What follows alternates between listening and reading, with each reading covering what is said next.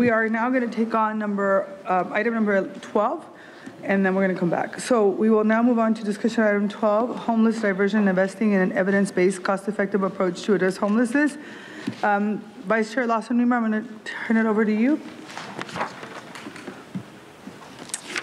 Um, Great, thank you so much, appreciate that. I'm uh, excited to bring this item forward here today and uh, really appreciate um, the, the collaboration and support of so many partners throughout our region to work on this together. I think we all acknowledge that homelessness is a, a major challenge for our communities, and I'm very, very focused on scaling solutions that have proven successes and uh, really concrete and measurable outcomes. And the ultimate metric of success of course, is getting people into stable housing. Uh, diversion is a successful practice um, that has been underutilized um, in San Diego County. It has proven results because we're aiming to catch people at the moment of crisis so they don't fall further into a negative spiral.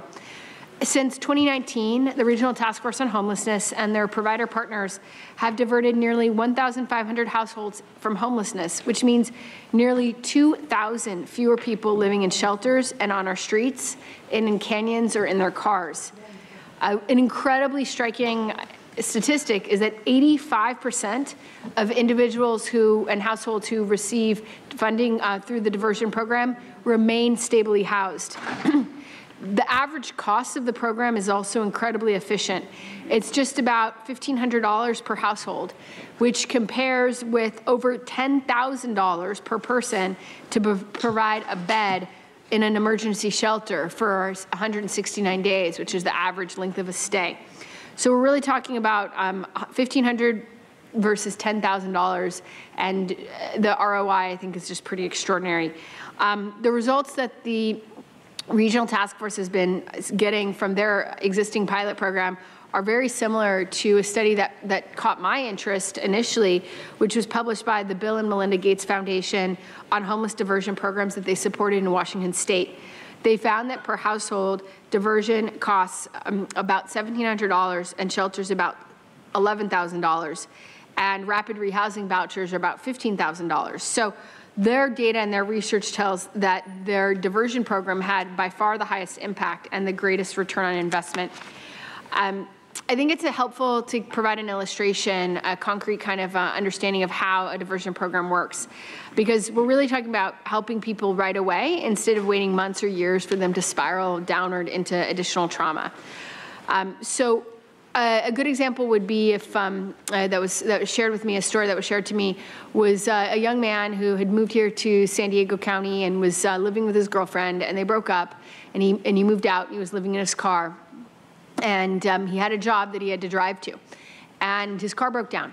And he was in the process of trying to get uh, into an apartment. Um, he had an accepted application, and he needed a security depo deposit for the apartment uh, but he also needed to fix his car so he could get to work. And he didn't have enough money to do both. And so he was being forced to choose, you know, does he have a home and a, a, roof over his head, or is he homeless, um, but his car works and he can get to work? And the diversion program, you know, can step in in a circumstance like that and, um, and help him put the down payment on the house, on the, excuse me, on a, the security deposit to get, to get into um, an apartment or uh, fix a battery really quickly for the car so that uh, someone can get to work and not lose their job. Uh, and then he can stay stably housed, uh, continue going to work, um, and doesn't end up in a downward spiral on our streets. So that's really what diversion does. That's how it works. Um, we, we know that uh, Regional Task Force has already uh, invested a lot in training homeless service providers, including over 150 frontline staff at organizations that work across our county. Um, and they also provide a little bit of flexible funding for, for these kinds of expenses. But the program has been very, very underfunded and they're out of money even though they've made all the investments in training their staff. So this is really a wonderful opportunity for us to step in together as a county, as a network of um, leading homeless organizations across our region, including the San San Diego Foundation, uh, the Lucky Duck Foundation, and including some support and partnership with, from the city of San Diego, to put together a million dollars to move into a diversion program so that we can continue in investing in these very uh, cost-efficient and fast and effective interventions to prevent homelessness. Um, I really want to thank I mentioned already the San Diego Foundation and the City of San Diego. Uh, would be remiss to not also um, really um, uh, say how much I appreciate the partnership of Steve Cushman and the Cushman Foundation, the Conrad Prebys Foundation, the Lucky Duck Foundation, and funders together to end homelessness, all of whom have committed to put money towards this endeavor uh, in partnership with uh, us at the county and the regional task force. Um, So the request and the item here today uh, that I brought to my colleagues is a request for um, $500,000. 350,000 would be for the diversion program itself um, that we, that uh, would really be able to get in the hands of people that need the money the most. Um, And then $150,000 to do an impact evaluation because I am personally so uh, committed to making sure that every dollar we spend on homelessness is making the biggest possible impact.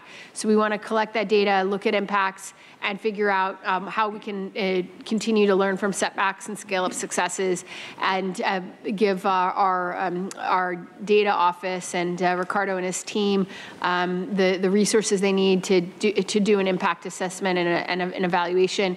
So hopefully we can continue scaling up this program here in San Diego County and do our part to keep people from falling into homelessness in the first place. So um, again, it's really exciting um, to have an initiative that has such broad and deep support from our funder community and our homeless advocates and experts, um, and is able to invest in a data-driven, uh, proven solution uh, that has uh, really strong evidence around uh, returns on investment.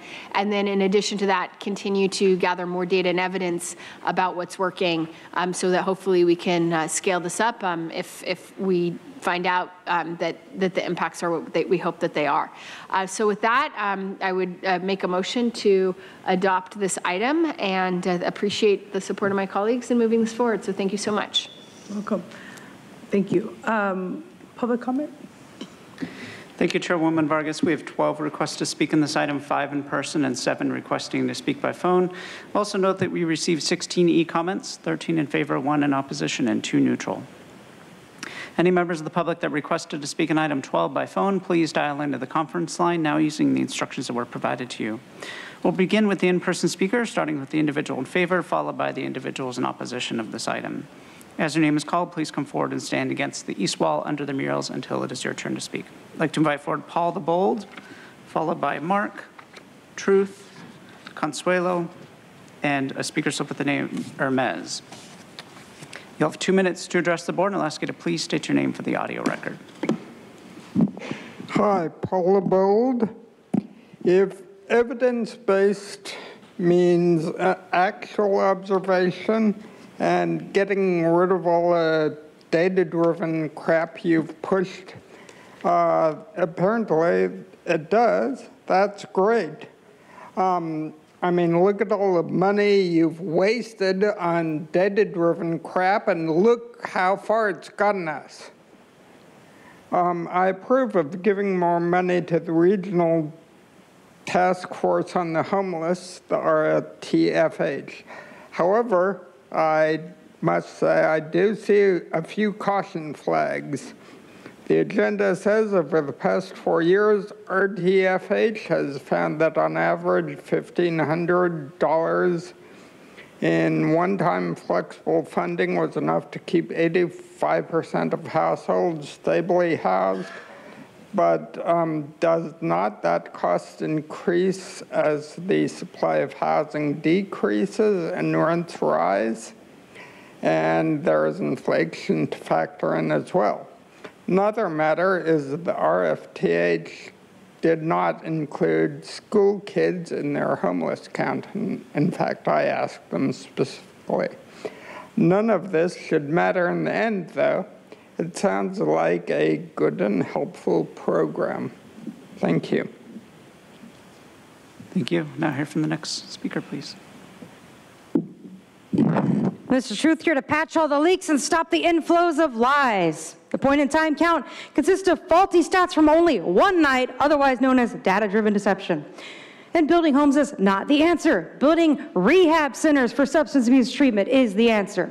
Throwing people into housing with harm reintroduction mistreatment services where they're provided drugs, pipes, and needles is not the answer. It's been making the streets less safe.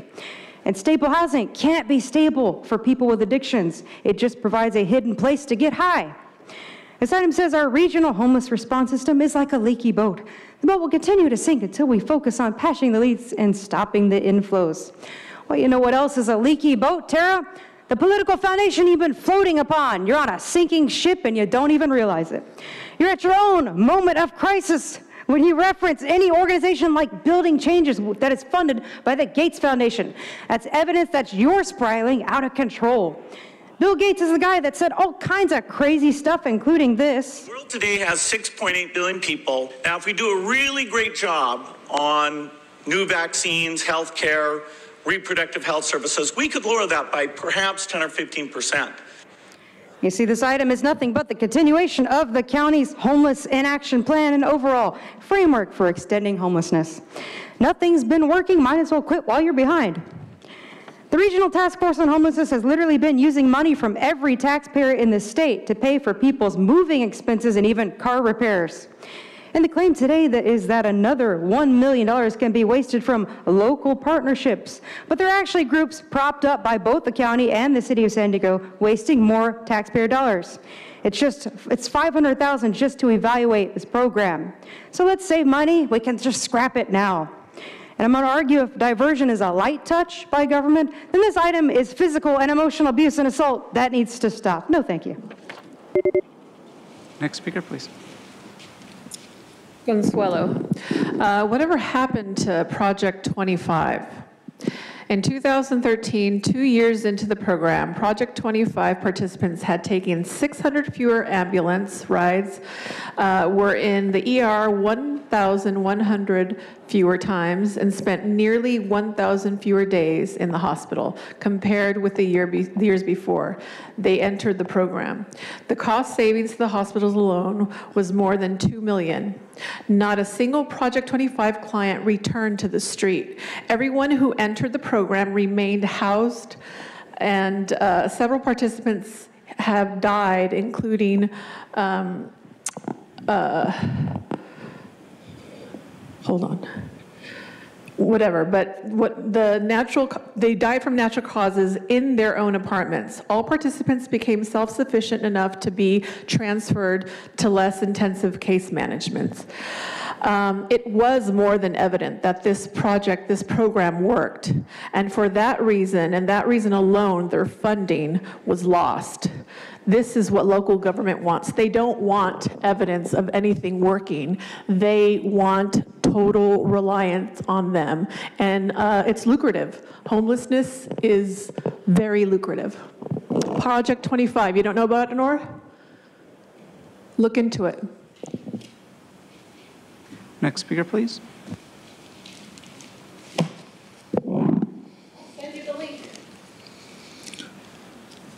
Mark, did you know we were on non-agenda comment when you prohibited Michael's critique as off-topic, Nora?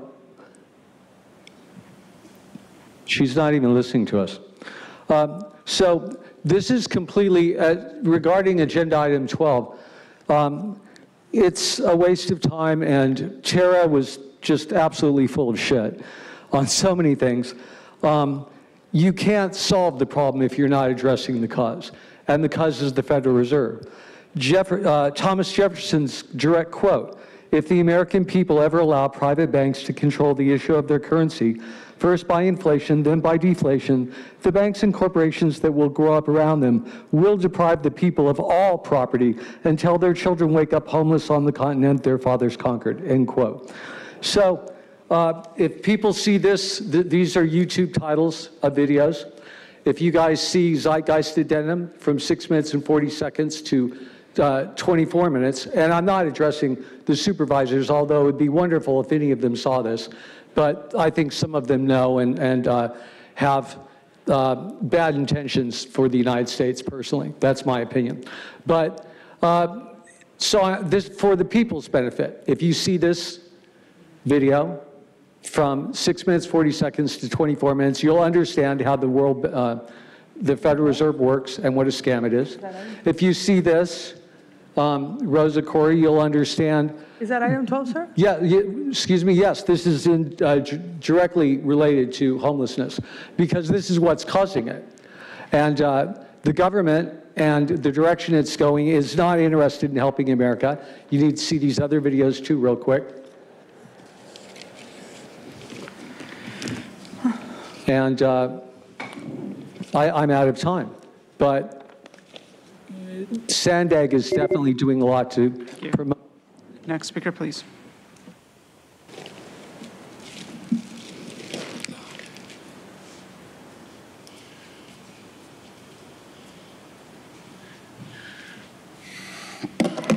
Barely made it. Hermes here, that's the name, Hermes. Here, talking about, what is this, 12? Sorry, give me a second. So we want to give out more money, increasing basically cost of homing for everyone else more. More times that you give out money, people are going to raise the prices. We've seen this with colleges. We've seen this all over the place. Congratulations, you are kicking more people onto the streets. Talking about help, I've been asking for it for years. You haven't given me shit. On top of that, I don't believe you guys are here for us for one simple reason. The simple reason is you are hiding fraud. End of question. You choose not to have reporting districts so you could hide your agendas. Much like this, much like all the other ones. First time ever, we did not have reporting districts for Newsom's election. Now we're going to get rid of cars because he saved his ass. Thank you guys for hiding fraud, lying to the people saying it doesn't exist. We all know it's true. And then sending cops to my door because you don't like my message. That's bullshit, Claudia. So, that is the issue that I have with you guys. And I will make a poster explaining everything that I've told you multiple times. I have a couple great pictures to throw on the back of it to force the media to cover it. I will get the media to go after you guys. Trust me on that. Have fun. Now hear from those that requested to speak by phone. When it is your turn to speak, you'll be unmuted and you will hear a recording that will tell you to begin your comments after the beep.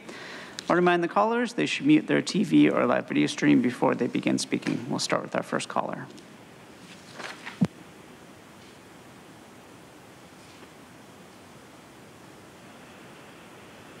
Good afternoon, Chairwoman Vargas and supervisors. I'm Jordan Latchford, the Government Affairs Manager of the Downtown San Diego Partnership, here to express our strong support for item 12. The partnership is deeply committed to fostering the economic prosperity and cultural vibrancy within the city's downtown area. As the managing organization for the Clean and Safe program, DSDP plays a crucial role in ensuring the region thrives.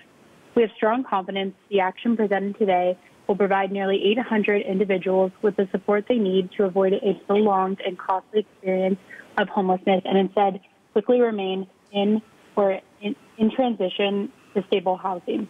We would like to express our gratitude to Supervisor Lawson Remer for bringing this important program forward and taking the lead on this issue, as well as the Cushman Foundation for their advocacy for our unsheltered population. As a current service provider housing over 3,500 individuals through our family unification program, we are grateful for the partnership with RTFH to make this diversion program such a success. We urge the board to move forward with allocating these funds to RTFH. Thank you for your consideration. Thank you. we Now hear from the next caller.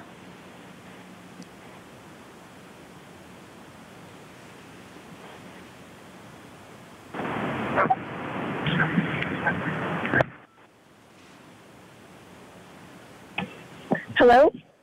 Yes, please go ahead. Hello, my name is Sandy Muskowski. I'm with Lived Experience Advisors, Voices of Our City Choir, Heal Network, and Run California. And I feel grateful to Terra Lawson Remer for bringing this bill forward. Our data from RTFH has demonstrated the success of the program that we've had in place and we must expand and continue this program. Thank you. Thank you. We'll now hear from the next caller.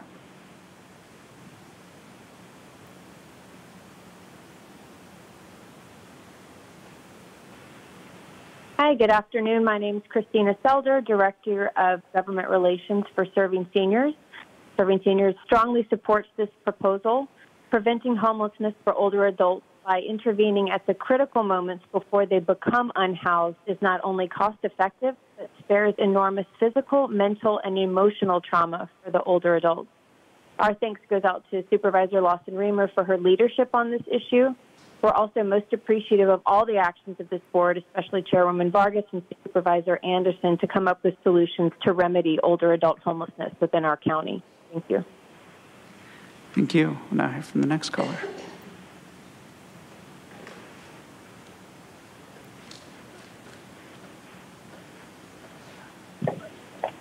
Hello, this is John Brady with Lived Experience Advisors. Today is World Homeless Day. What a perfect day to be doing this uh, item and approving it. Thank you to Terra Lawson Remer for putting this on the agenda and arranging all the funding uh, from the various funders. It is critical that we stop the influx of people into our homeless system and keep them in their homes, particularly our seniors. 588 people died on this on our streets last year in the county of San Diego. We will be honoring them tonight at 6 p.m. and hope that all of you can join us here at the county administration on the southwest lawn corner of Ash and Harbor. Thank you. Thank you. Now hear from the next caller.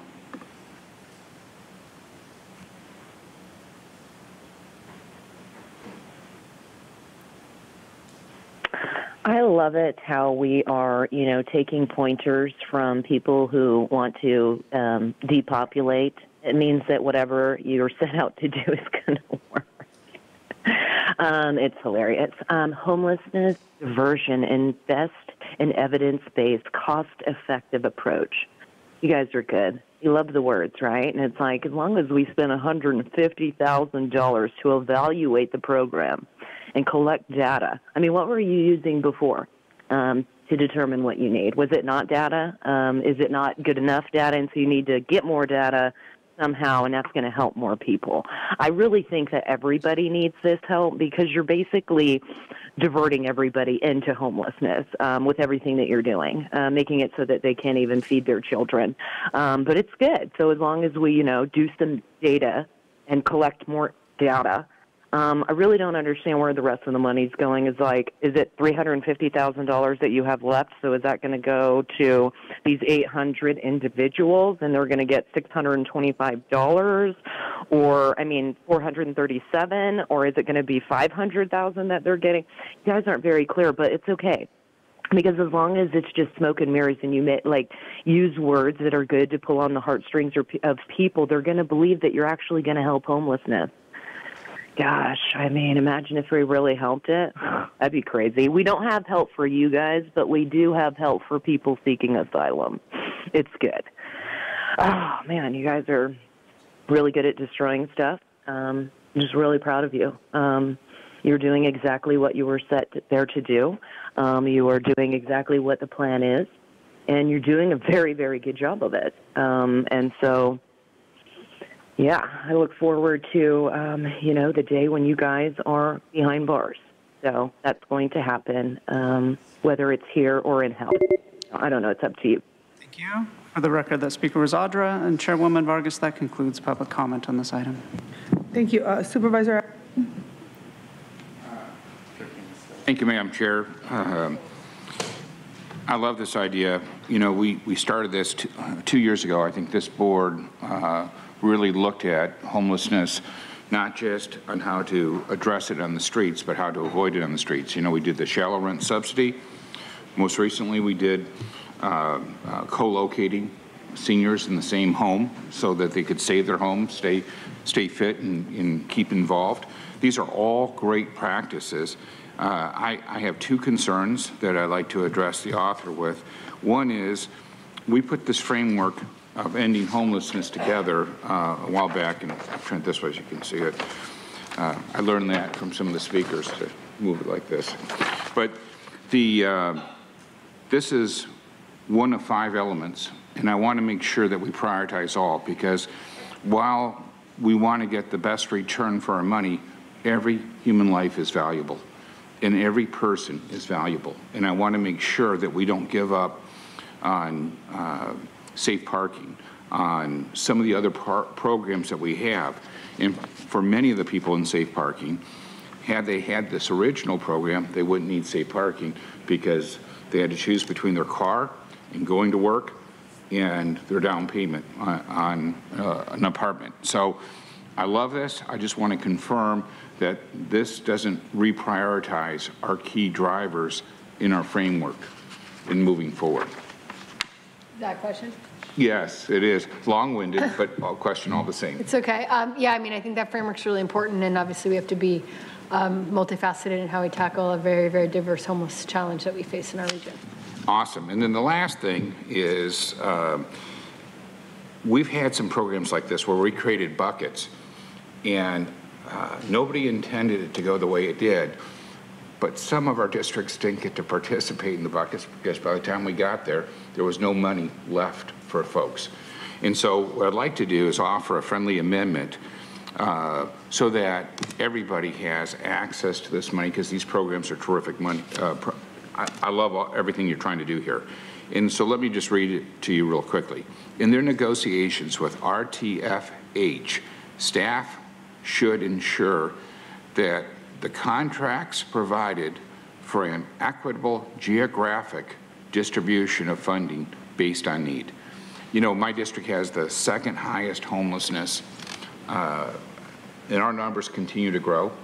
And I want to make sure that by the time, because we have three NGOs working in my district right now, of all the NGOs that are named in this program, I want to make sure that they have enough time to get their apply and bring some of that money back to the second highest population. And that population continues to grow because these people that you're trying to reach are on the cusp.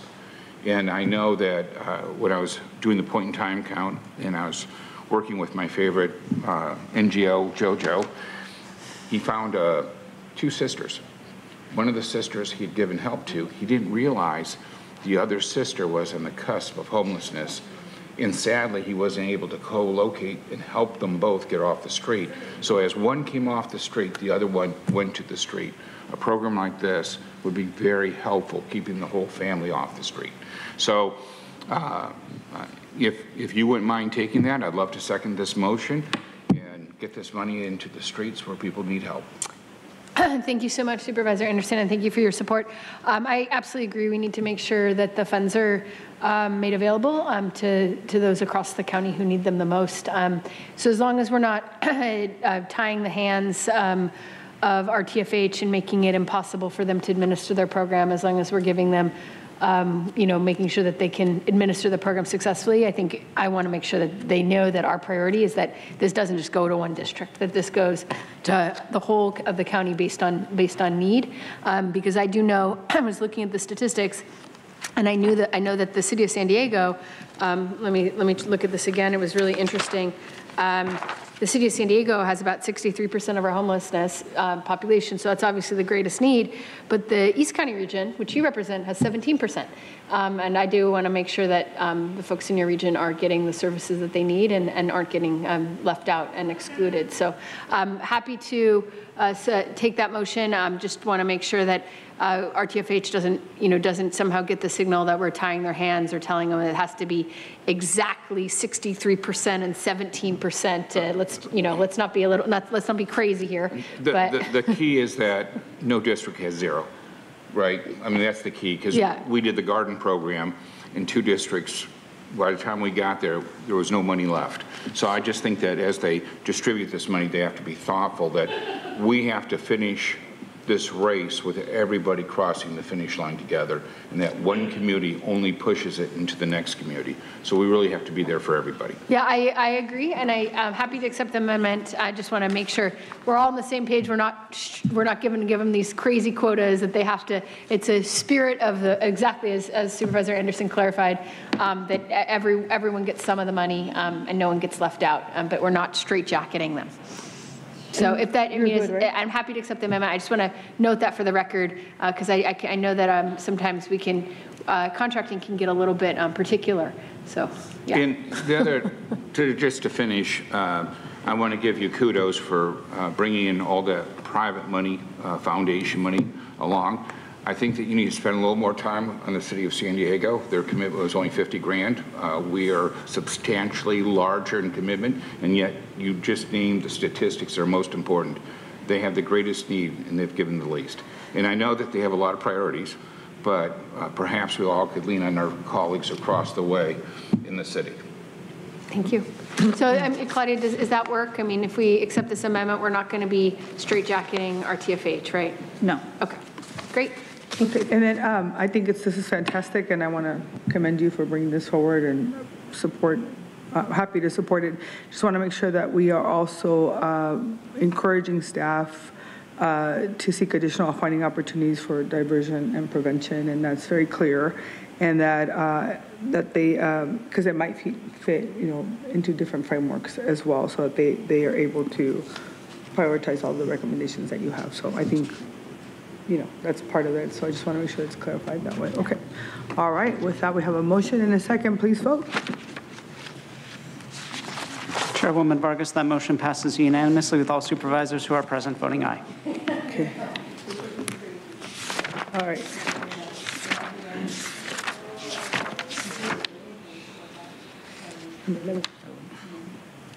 All right, we'll now hear discussion for number 11, ending taxpayer-funded, uh, so item number 11, Supervisor?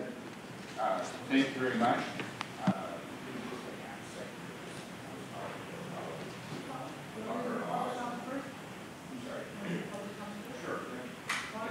I'll take public comment first. Clerk? Thank you, Chairwoman Vargas. For item 11, we have 34 requests to speak, 20 in person and 14 requesting to speak by phone. Also note for the record that we received 79 e-comments, 15 in favor, 62 in opposition, and one neutral. We also had seven individuals that registered their opposition but did not wish to address the board on this item. For any members of the public that requested to speak on item 11 by phone, please dial into the conference line now using the instructions that were provided to you. We'll begin with the in-person speakers, starting with the individual in favor, followed by the individuals in opposition.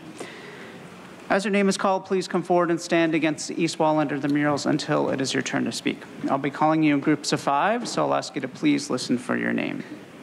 I'd like to invite forward Michael Brando, followed by Mark, Truth, Paul the Bold, Judith Vaz, and Erin Tsurumoto Grassi. I've called your name, please come forward. You'll have two minutes to address the board, and I'll ask you to please state your name for the audio record.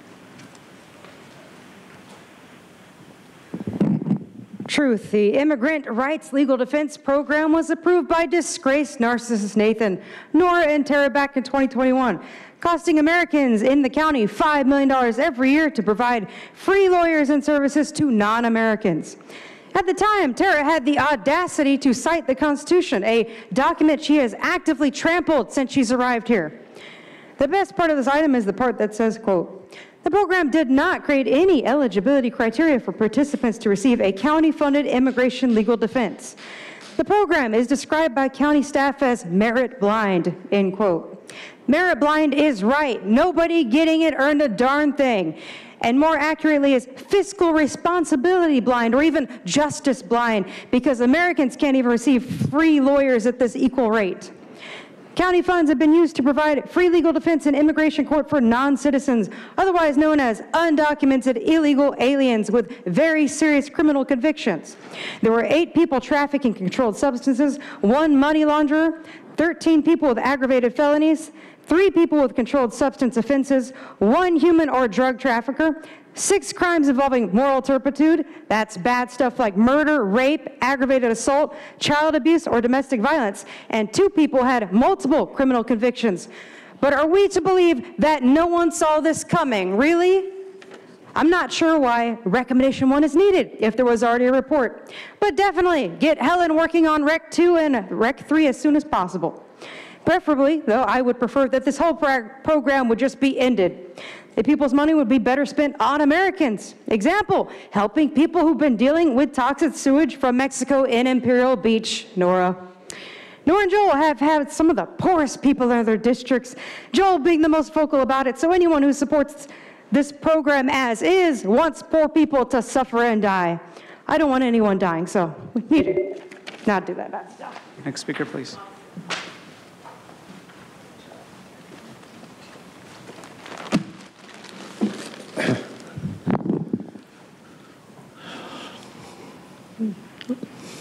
Jim, who, my name's Mark. Uh, my time started early.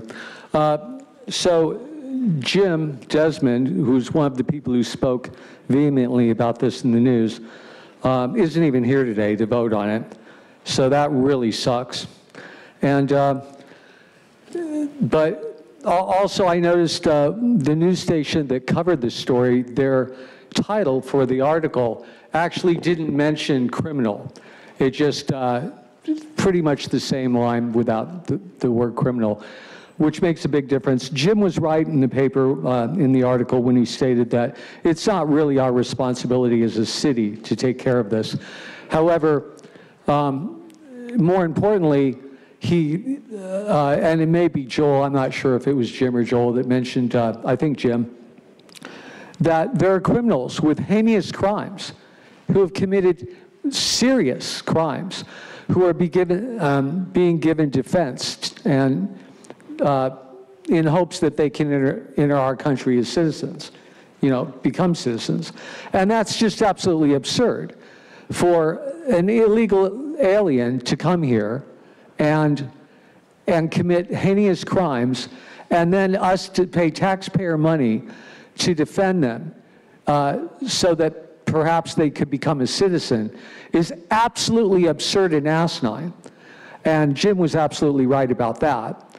Um, of course, he isn't here today to vote on this, which is not unusual that even, it, it's, it's almost seems like you're all completely in on it, no matter what side you're on.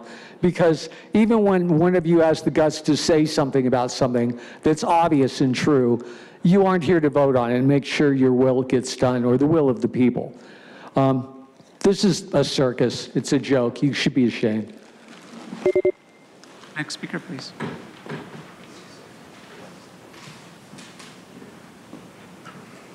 Okay. Paula Bold. Um, I'm opposed to this. Most countries act on a guilty and proven innocent basis. It is heartless and un American to deport anyone if they are, in fact, innocent, and they should be given a chance to prove it while not in jail.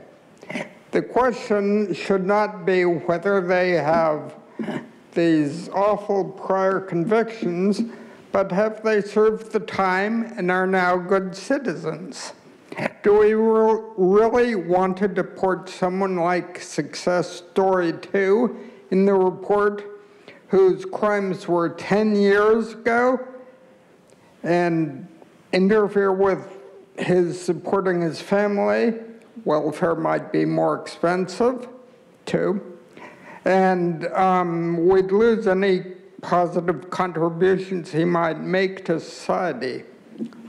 Also, while awaiting deportation, if in some kind of detention, prisoners in this country, at least, probably have access to more uh, resources to prove their innocence if they are. Again, however, to spend work on defending someone who might be innocent is un American. Thank you. Thank you. Next speaker, please. Hello. I'm not sure what happened with the forms, but I'm opposed to this, so I'm not sure if I can still speak. Great. Uh, good afternoon, Board of Supervisors. My name is Judy Voss. I'm the Public Affairs Manager at Planned Parenthood of the Pacific Southwest. In 2022, we were proud to support the launch of the Immigrants' Rights Legal Defense Program, and we see this program as an invaluable resource that provides legal aid to our most vulnerable communities. Legal representation can make the difference between someone being allowed to remain safely in the United States with their family or face permanent family separation by deportation going to potentially dangerous conditions. All people deserve due process regardless of who they are, where they were born, or what they have experienced, and I urge you to oppose this proposal. Thank you. Thank you. As the next speaker is coming forward, I'd like to invite five additional speakers that are in opposition. Crystal Irving, Nate Woolman, Lindsay Toklowski, Paulina Reyes, and Patricia Mondragon. Good afternoon. My name is Erin Tsurumoto Grassi. I'm the Policy Director at Alliance San Diego. I'm also a District 2 resident where I have resided for eight years as a homeowner. Alliance San Diego strongly opposes Supervisor Anderson's letter to end funding to the Immigrant Rights Legal Defense Program. And quite honestly, as a District 2 resident, I am ashamed that it is my supervisor bringing this forward in the first place. The Immigrant Rights Legal Defense Program is an important resource to the San Diego community members who are faced with deportation. Being able to have legal representation to navigate the court system leads to better outcomes, which impacts not just the individual facing deportation, but also their family and the community. Access to legal representation is a universal human right. And I will remind folks that human rights are inherent. We are born with them. They are not dependent on whether or not you have a criminal history or whether or not you have a high or a low chance of winning your case. Legal representation ensures that we are guaranteeing that we are protecting human dignity during the entire process. We urge the county to continue protecting the human rights of everyone, including individuals um, who are facing deportation. And we ask you to protect the right to legal representation and oppose Supervisor Anderson's letter. Next speaker, please.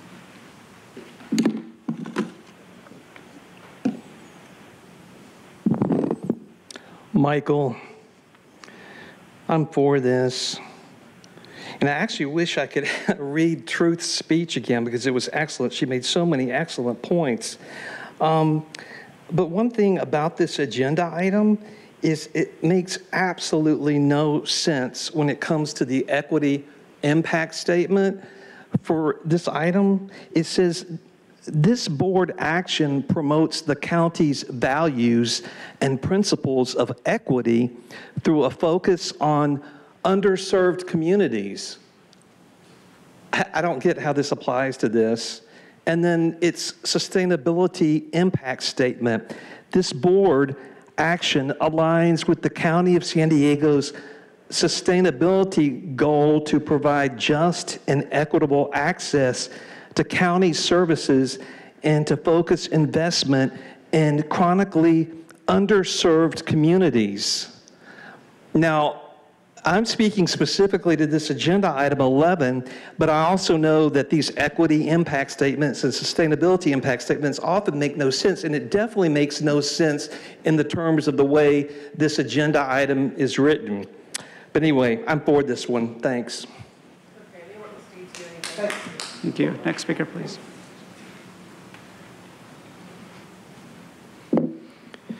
Good afternoon, Chair Vargas and supervisors. My name is Nate Woolman, and I'm Vice President of SEIU Local 221 and a resident of District 3. I want to add the voice of our membership in opposing this item. Our region is stronger when we ensure due process for all people. Uh, San Diego County must continue to fund and prioritize this work of the Immigrant Rights Legal Defense Program because access to counsel is a civil right that should be afforded to everyone. And let's be honest, uh, any court in which individuals involved are either not aware of or cannot fully avail themselves of their rights is not a court that can serve any true justice. Being convicted of anything doesn't change that, and crimes are already taken into account when deciding immigration cases. Worse, this proposed action would disproportionately affect black and brown immigrants who are structurally less likely to be able to receive adequate representation in an immigration hearing. It's inequitable. Furthermore, it is in all taxpayers' best interest to ensure that justice be served with equity and that their transition into si- our society is just and productive. We urge the board to reject this proposal and get back to the important work of the county, which includes a commitment to due process and building stronger communities. Thank you. Thank you. Next speaker, please. Good afternoon. Patricia Bondragon, Patricia Mondragon, Regional Policy Manager for Alliance San Diego. We are members of the San Diego Immigrant Rights Consortium. I'm also a D4 resident. Um, we have been strongly in support of a universal legal defense program for immigrants that are in removal proceedings. Um, and we would like to see it continue to be truly universal. I urge the Board of Supervisors to vote no on item 11. Not only is the immigration court system complicated, our, but our entire immigration process is broken. Immigration attorneys have to keep on top of the ever changing rules that act as a band aid to a dysfunctional process. How then can we expect non citizens who often do not speak English and are new to our government system to represent themselves effectively? Access to legal counsel is a fundamental human right and a cornerstone of our justice system. All people deserve due process regardless of who they are, where they were born, or what they have experienced. Rather than restricting the program, we should be discussing expanding this important program and making it truly universal. San Diego County's Immigrant Rights Legal Defense Program makes our immigration court system more just and more humane by ensuring that all immigrants in our community have access to basic due process. I urge you to vote no today on Anderson on, Supervisor Anderson's board letter. Thank you. Thank you. As the next speaker is coming forward, I'd like to invite five additional speakers in opposition.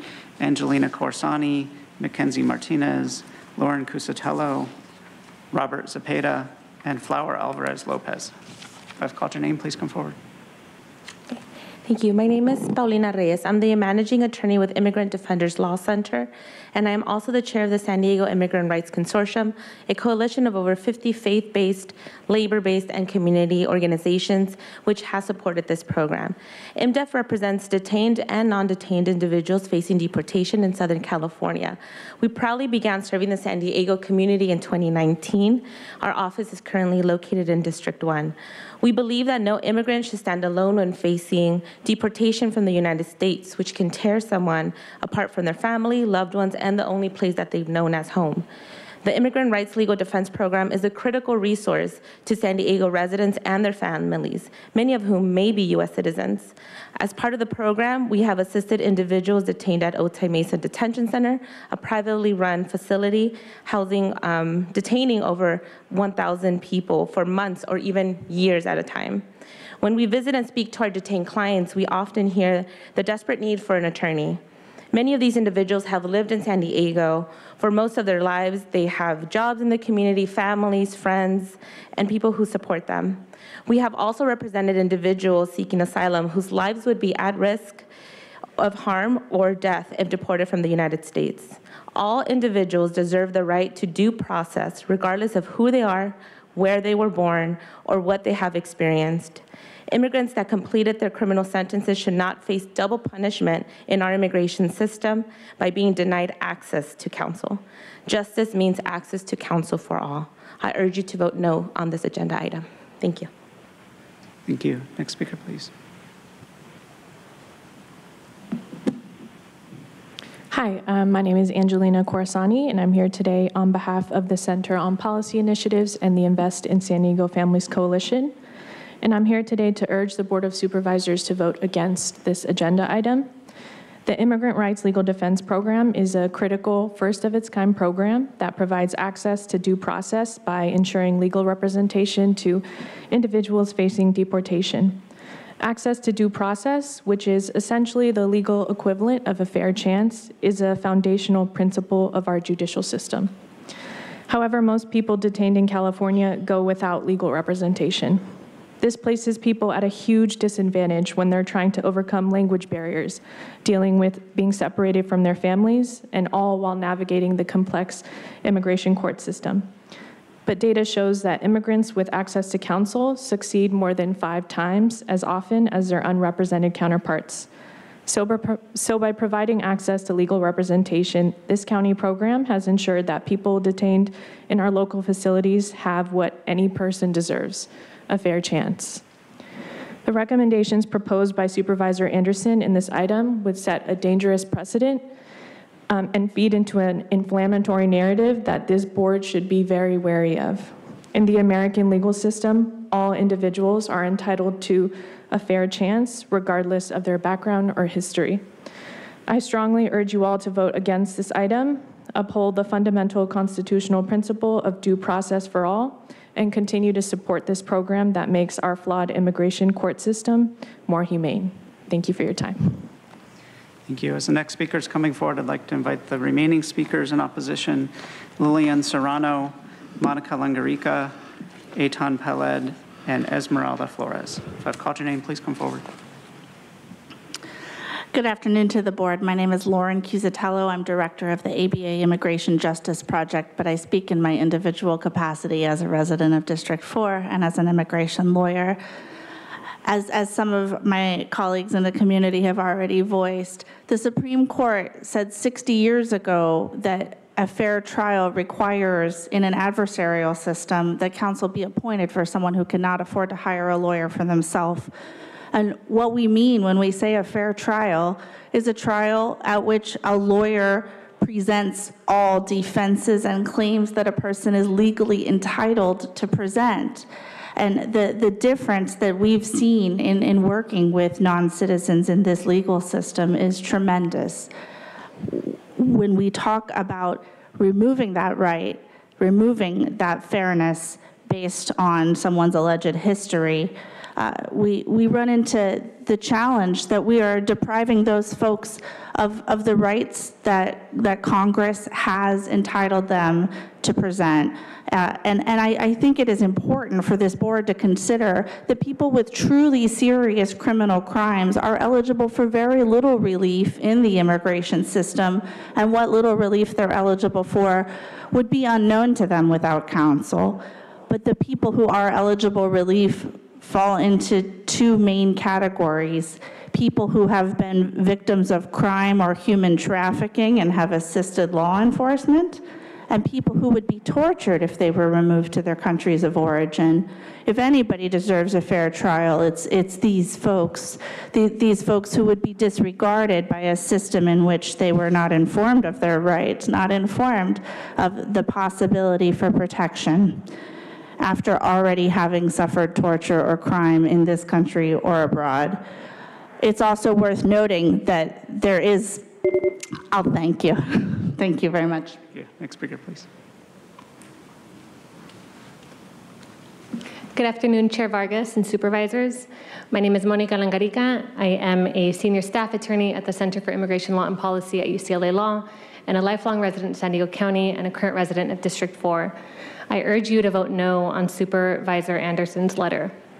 As a former direct representation attorney for people facing deportation while detained at the Otay Mesa Detention Center, and as a current federal court impact litigator, I know that lawyers are critical to ensure that people have in the immigration system can access rights they are already entitled to under current federal immigration laws. I also know that the Department of Homeland Security, which acts as the prosecutor in immigration court cases, routinely makes mistakes, and this is especially true in complex cases involving past criminal convictions. And I know that the Department of, of Homeland Security severely oversteps its authority also on a routine basis. Lawyers are a basic and a critical component of, a legal, of the legal process for all people, and they provide a critical check on government and on an agency whose mission it is to deport our community members. San Diego County, including the Board of Supervisors and communities throughout this region, already recognized this when they allocated funding for the Immigrants' Rights Legal Defense Program over two years ago. An attack, any attack, including this one, on this program is an attack on due process and other fundamental values that are enshrined in our Constitution. I urge you to vote no on item 11. Thank you. Next speaker, please.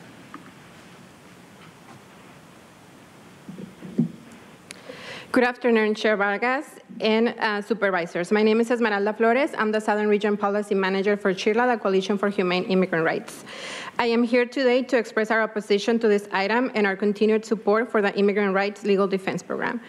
In May of 2021, this Board of Supervisors approved this program to provide immigrants facing deportation access to legal representation, the first throughout the entire southern border. Thank you, Vice Chair Lawson Remer, for leading the effort.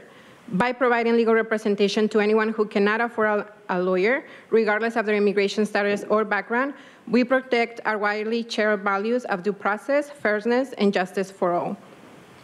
A value already exemplified by public defenders all over the nation. In the face of unjust, xenophobic, and harsh border and immigration policies, this board acted to protect our immigrant community. These fundamental legal protections should not go away just because some of our leaders' bias and lack of understanding of the complexity of the immigration system and its harmful consequences. These ignorant attacks and scapegoating against immigrants must stop. We know this program is already changing lives and protecting families in our community.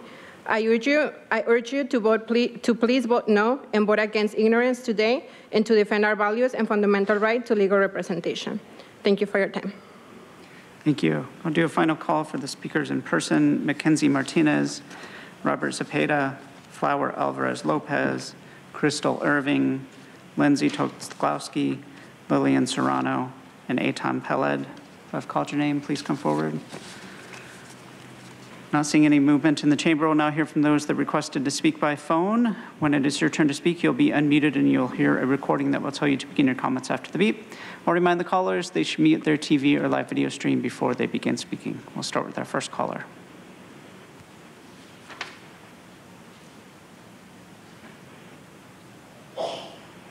Good afternoon. My name is Kate Clark. I'm the Senior Director of Immigration Services of Jewish Family Service of San Diego. JFS is a core partner of the San Diego Rapid Response Network. Importantly, in 2017, the San Diego Rapid Response Network was founded under the last administration to support individuals who are experiencing immigration legal emergencies and needed immediate access to counsel. Outside its work with SDRN, JFS has a team of more than 40 staff who provide legal representation to non citizens in detained and non detained settings and non citizens that are released on the Alternatives to Detention ICE program who are coming through our migrant shelter, some of which are supported through the County of San Diego Immigrant Rights Legal Defense Program. I urge you to vote no on Supervisor Anderson's board item. The Immigrant Rights Legal Defense Program is critical to providing access to counsel to help navigate the complex area of immigration law and ensuring non citizens' due process rights are upheld. We know this program is helping reunite families and protect lives. For these reasons, JFS urges this board to deny the request made on item 11. Thank you. We'll now hear from the next caller.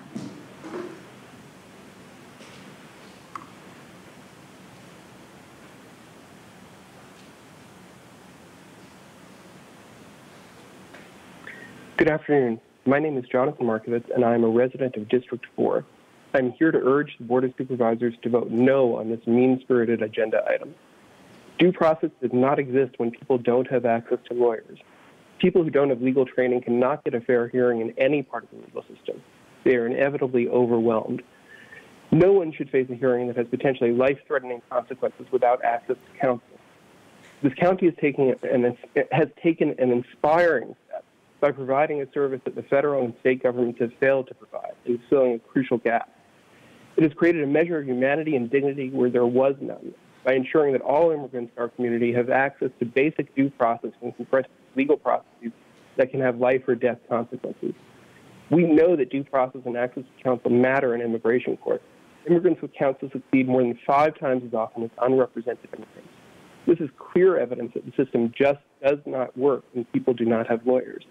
People should not face deportation without a fair process, and there is no fair process without counsel. People should not be sent to face potentially deadly circumstances because they don't have a lawyer. Families should not be torn apart because of lack of access to counsel.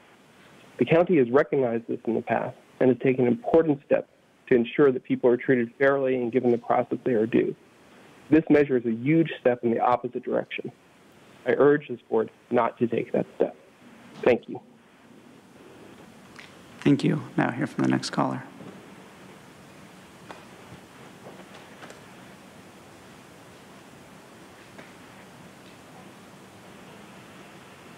Christy Lovehill. Good morning, Chair Vargas and supervisors. My name is Christy Lovehill. I'm the Advocacy and Legal Director at the ACLU of San Diego and Imperial County. We are here to strongly urge the Board of Supervisors to vote no on the board letter introduced by Supervisor Anderson. Access to legal counsel is a cornerstone of our justice system.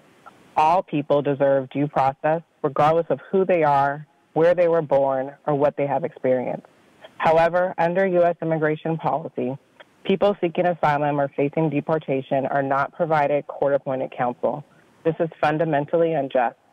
The groundbreaking San Diego County Immigrant Rights Legal Defense Program closes the justice gap in the federal immigration court system. For immigrants detained at the Otay Mesa Detention Center, the, the IRLDP is vital to ensuring due process and a more just system. Statewide data, as you've heard, shows that detained immigrants who have counsel in immigration court succeed more than five times as often as their unrepresented counterparts. When a loved one is detained or deported, it impacts their entire family and the San Diego County community at large. For people facing deportation, legal representation can be a critical line of defense in keeping families and communities together. We urge this board to vote no on the board letter. By voting no, San Diego County will allow people to make informed decisions about their cases, access the rights they have under U.S. law, and most importantly, help ensure that immigrant families and communities in our county have a fair opportunity to stay together. Thank you. Thank you. Thank you. Now hear from the next caller.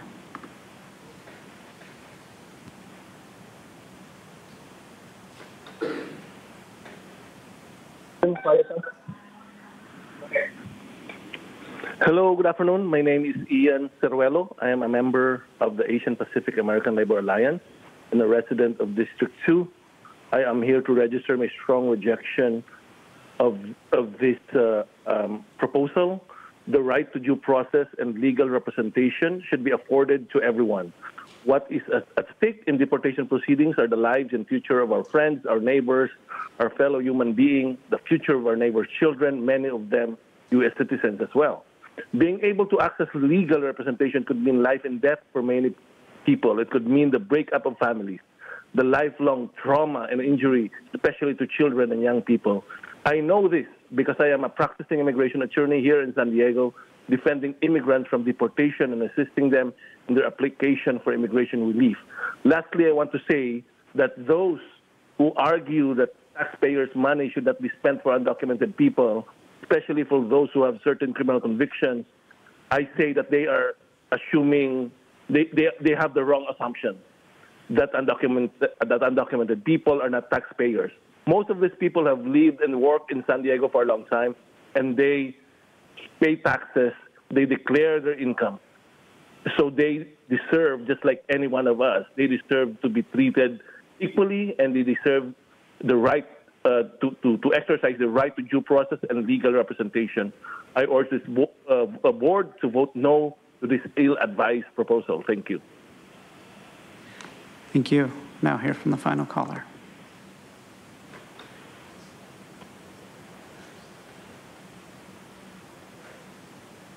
Man, propaganda is flying around like the mosquitoes that Bill Gates makes. Um, so, you know, it's just sad because this is going to not pass uh, because Nora and Terra have their agenda. And, you know, even if Jim was here, it wouldn't matter because Nora has the final say. Um, and this would go against what you guys are wanting to do. Um, but this really is sad because all of these things get muddied together. Like we have an invasion happening on, on our land right now. And there are people that are coming over that aren't seeking asylum. As I had mentioned before, there are military age men that are coming here, not seeking asylum. I guarantee you that. And they're also have men bringing children that they know nothing about. So that's not a family that you're breaking up. That's actually trafficking that you're watching happen before your eyes. And we're sitting here paying money for trafficking, people who traffic drugs and humans, murder, rape, um, engage in domestic violence and child abuse, money laundering, all of this stuff. And we're supposed to believe that um, even if they just came, that they've been paying taxes and so that they should have this. There are people suffering. We're spending $5 million annually funding this. And the people in the United States or in this county can't even get help for things that they need. But we're saying, yeah, let's just make these criminals make sure that they can stay, right? It's a very muddied watered thing. And as long as we pull on the heartstrings of all of these people, because it's sad, you're like, we welcome refugees and immigrants and protecting them from crime in communities because they're at a greater risk. That's not necessarily true. The people that live here could be at greater risk because, as you see, they engage in all of these crimes that we're sitting here and trying to protect them and make sure that they don't get deported. I've had friends who came here legally and were fighting to get representation and never saw it because it's going to these criminals and people that it shouldn't be going to instead of the people that have done their due diligence and duty to come here in a legal manner. Thank you. For the record, that speaker was Audra. Chairwoman Vargas, that concludes public comment on this item. Thank you, Madam Chair. So um, I'm glad we let, let the uh, public speak because uh, no one's speaking to my board letter. My board letter isn't trying to redo the vote uh, on whether we should have the IR, IRLDP, Immigrant Rights Legal Defense Program. That's not what this vote's about. That vote went with a 3-2 vote a year ago, and uh, we're not revisiting that.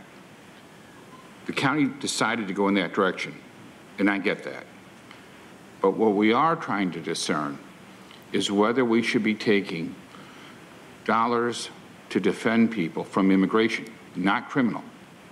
This is civil. Immigration court civil, not criminal. So when you say you have a right to defense, not in civil, your buddy next door sues you, you don't have a right to defense. The reason why the federal government doesn't necessarily offer them because they don't have a right to it. Now, I've been doing this a long time. I've been in a lot of hearings in the state legislature.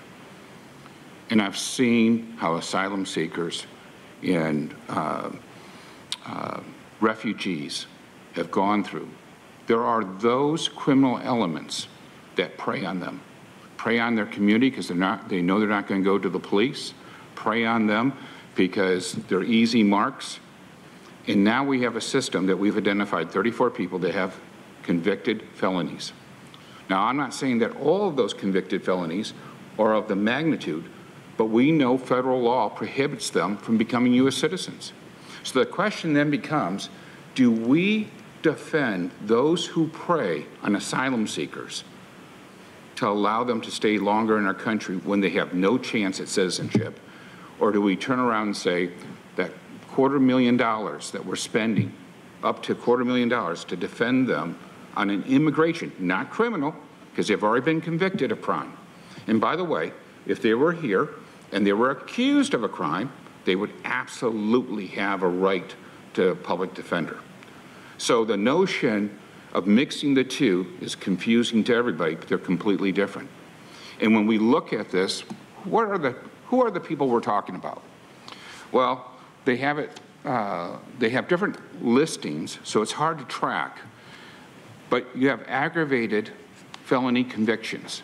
That could be a murderer, could be a rapist, it could be somebody trafficking children. It could be somebody who's trafficking fentanyl.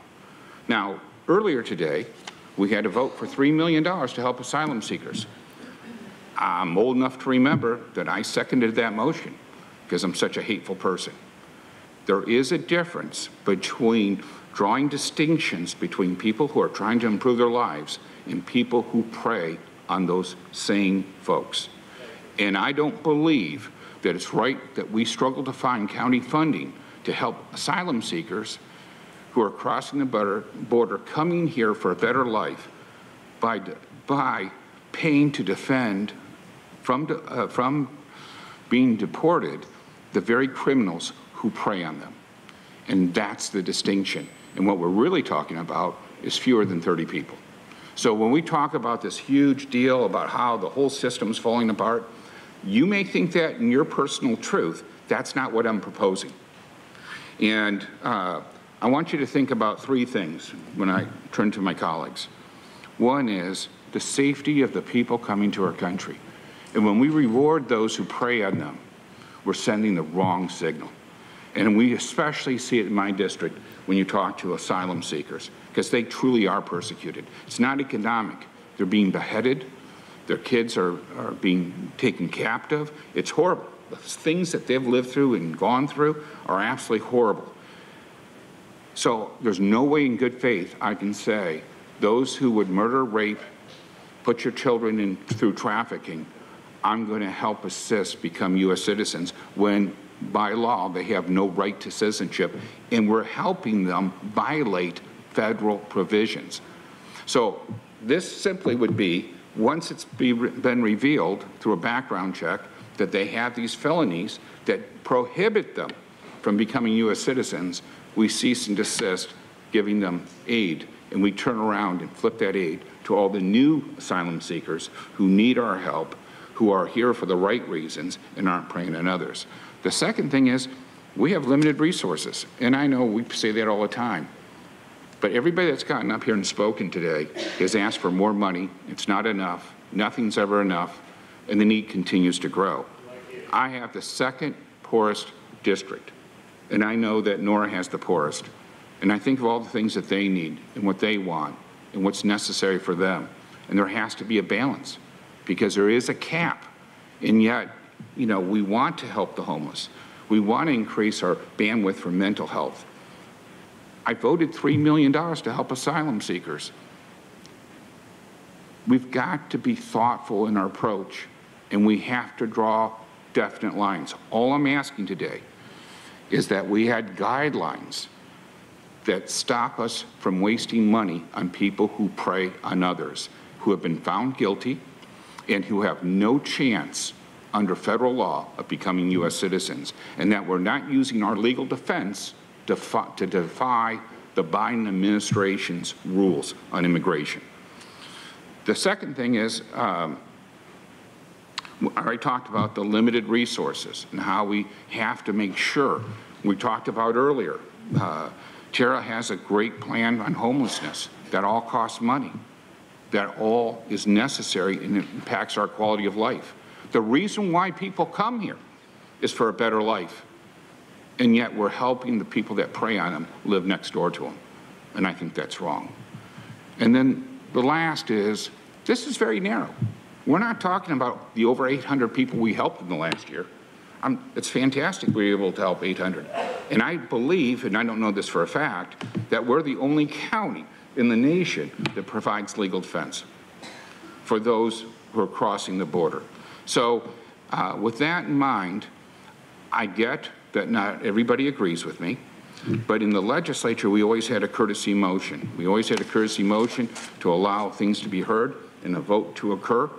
And whether my colleagues agree with me or not, I would ask that somebody would give me a courtesy motion because uh, stifling my opportunity to a vote, uh, it would be more punishing than allowing a murderer to try to get around federal law. So with that, I, I close and ask for a courtesy motion.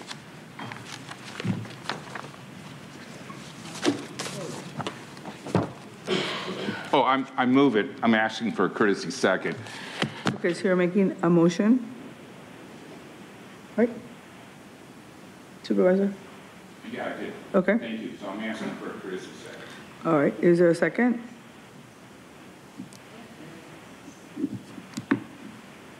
Chairwoman Vargas, that motion fails for lack of a second.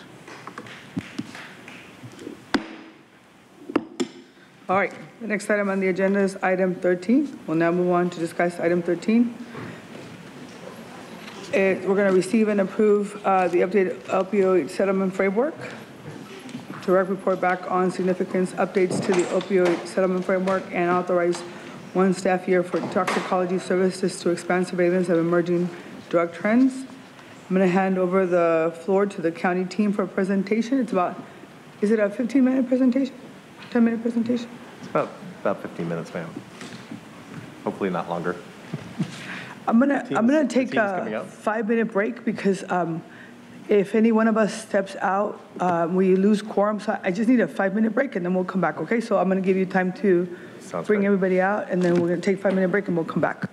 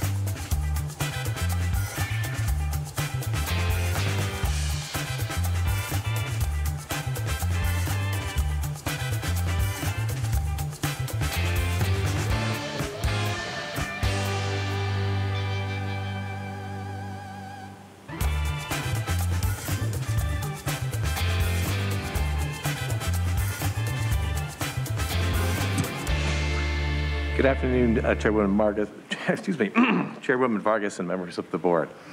In October last year, your board unanimously approved a comprehensive opioid settlement framework, leveraging unprecedented awards from lawsuits against many opioid pharmaceutical companies, manufacturers, and distributors.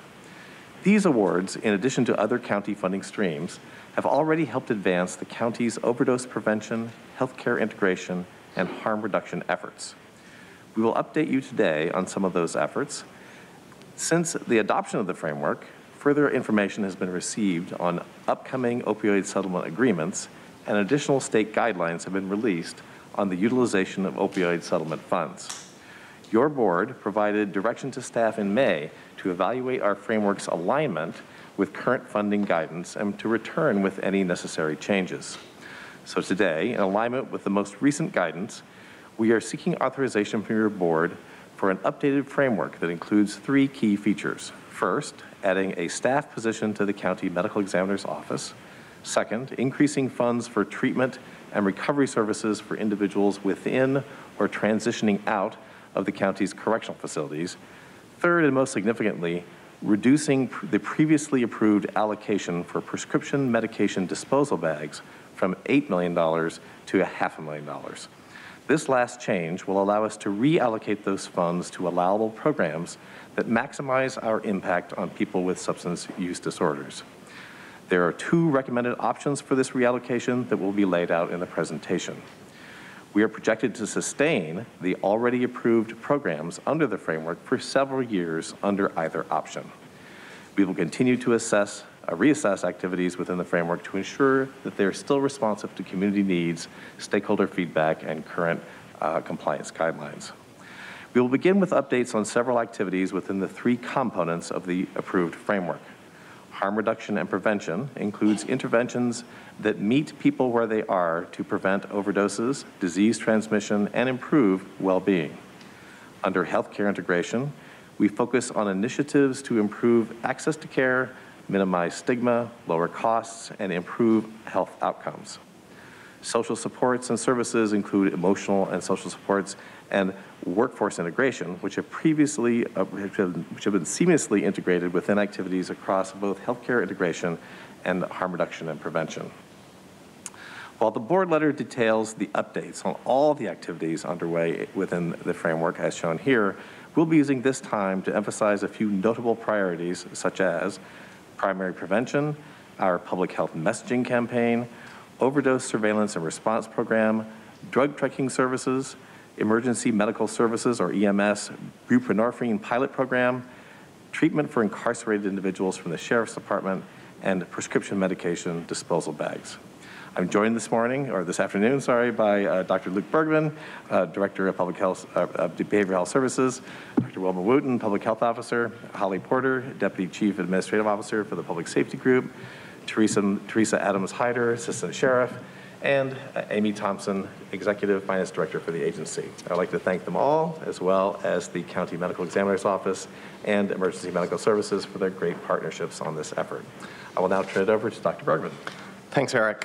Within the harm reduction prevention domain, a key program investment will be Project Alert, an evidence-based program designed to educate youth to build resilience, awareness, safer choices, and refusal skills.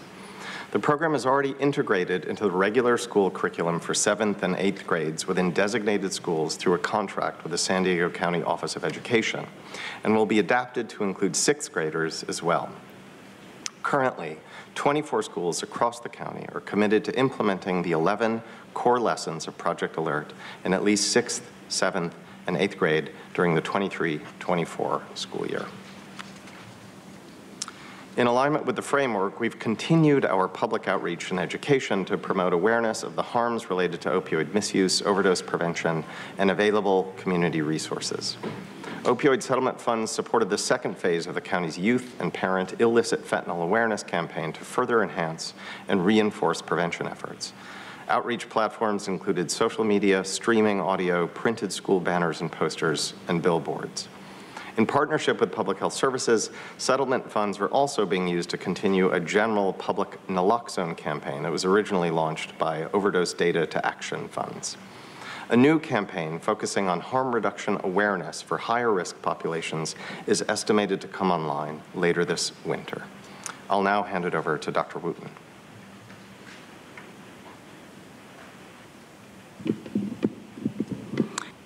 Thank you, Dr. Bergmann. There you go. Thank you, Dr. Bergmann. The overall, uh, rather the overdose surveillance and response program is a cross-departmental partnership led by Public Health Services and Behavioral Health Services. The program aims to monitor and improve the timely detection of overdose cases and potential outbreaks and coordinate more effective responses to our communities during overdose surges. Additionally, the framework includes monitoring for emerging drug trends through drug checking, which will be a collaboration between public health services and the county's public safety group. On this slide are two programs under the approved framework. The first program is drug checking, which focuses on drug surveillance and data collection efforts. Through drug checking services and technology, drug samples brought in by people at higher risk of an overdose can be tested and help individuals better understand what is there, what is in their substances by providing information on the chemical composition, such as whether there is fentanyl in the sample and how much. Plans to reach targeted high-risk populations, such as those from rural communities and communities of color, are also underway. The second program is drug testing of suspected overdose cases and unknown seized substances, pills, syringes, and associated paraphernalia processed by the medical examiner's office. Through this body of work, we anticipate obtaining more robust data on emerging drug trends, clusters, and use evolutions, which will help inform and expedite the county's response to the communities impacted. Now welcome Holly Porter from the Public Safety Group to provide further details. Thank you, Dr. Wooten. The medical examiner investigates all deaths suspected to be from drug overdoses countywide. Drugs detected in people who die from an overdose can be the first clue to emerging drug trends. Also, as Dr. Wooten mentioned earlier, in collaboration with the crime lab, we will conduct surveillance, testing of drugs collected from death scenes. The, addition, the additional staff person in the medical examiner's office will ensure this work occurs and will assist in being proactive in the ever-evolving drug landscape.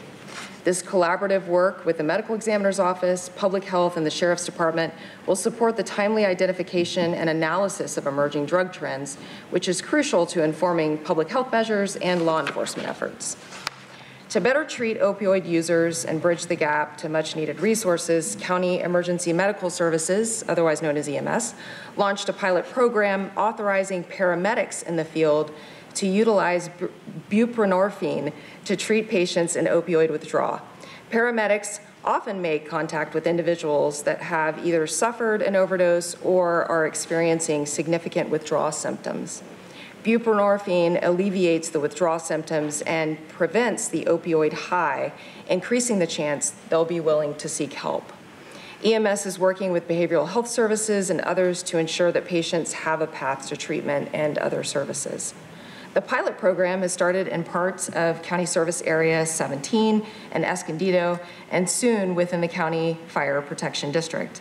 This is part of an overall opioid crisis mitigation strategy that includes the Leave Behind Naloxone program and data collection for OD maps and related initiatives. I'll now turn the presentation over to Assistant Sheriff Adams Hyder. Thank you, Holly. As previously mentioned, treatment of incarcerated individuals is a key component of healthcare integration. The Sheriff's Department has been providing some form of substance use disorder treatment and programming to our incarcerated population since before the pandemic. Since 2019, the Sheriff's Department has provided medication to individuals who were previously identified as being enrolled in a community substance use disorder program. This first phase of medication assisted treatment, or MAT, focused on providing continuity of care to individuals as they transition from the community to incarceration. In January of 2023, we established our first designated MAT housing unit at Vista Detention Facility, which focused on cohorting individuals for the purpose of medication disbursement and individualized and group counseling. The Sheriff's Department launched the second phase of MAT in July of 2023, which focused on patients identified during intake as recently being on an opioid. For this initiation phase, a patient is assessed at intake by health staff using the Clinical Opiate Withdrawal Scale, or COWS, to evaluate symptoms for the safe initiation and continued maintenance of medications. After dose stabilization, the patients are offered to participate in continued counseling and therapy associated with MAT. Phase 2 MAT is provided to both individuals in formalized MAT housing as well as hundreds of other incarcerated persons in our larger facilities.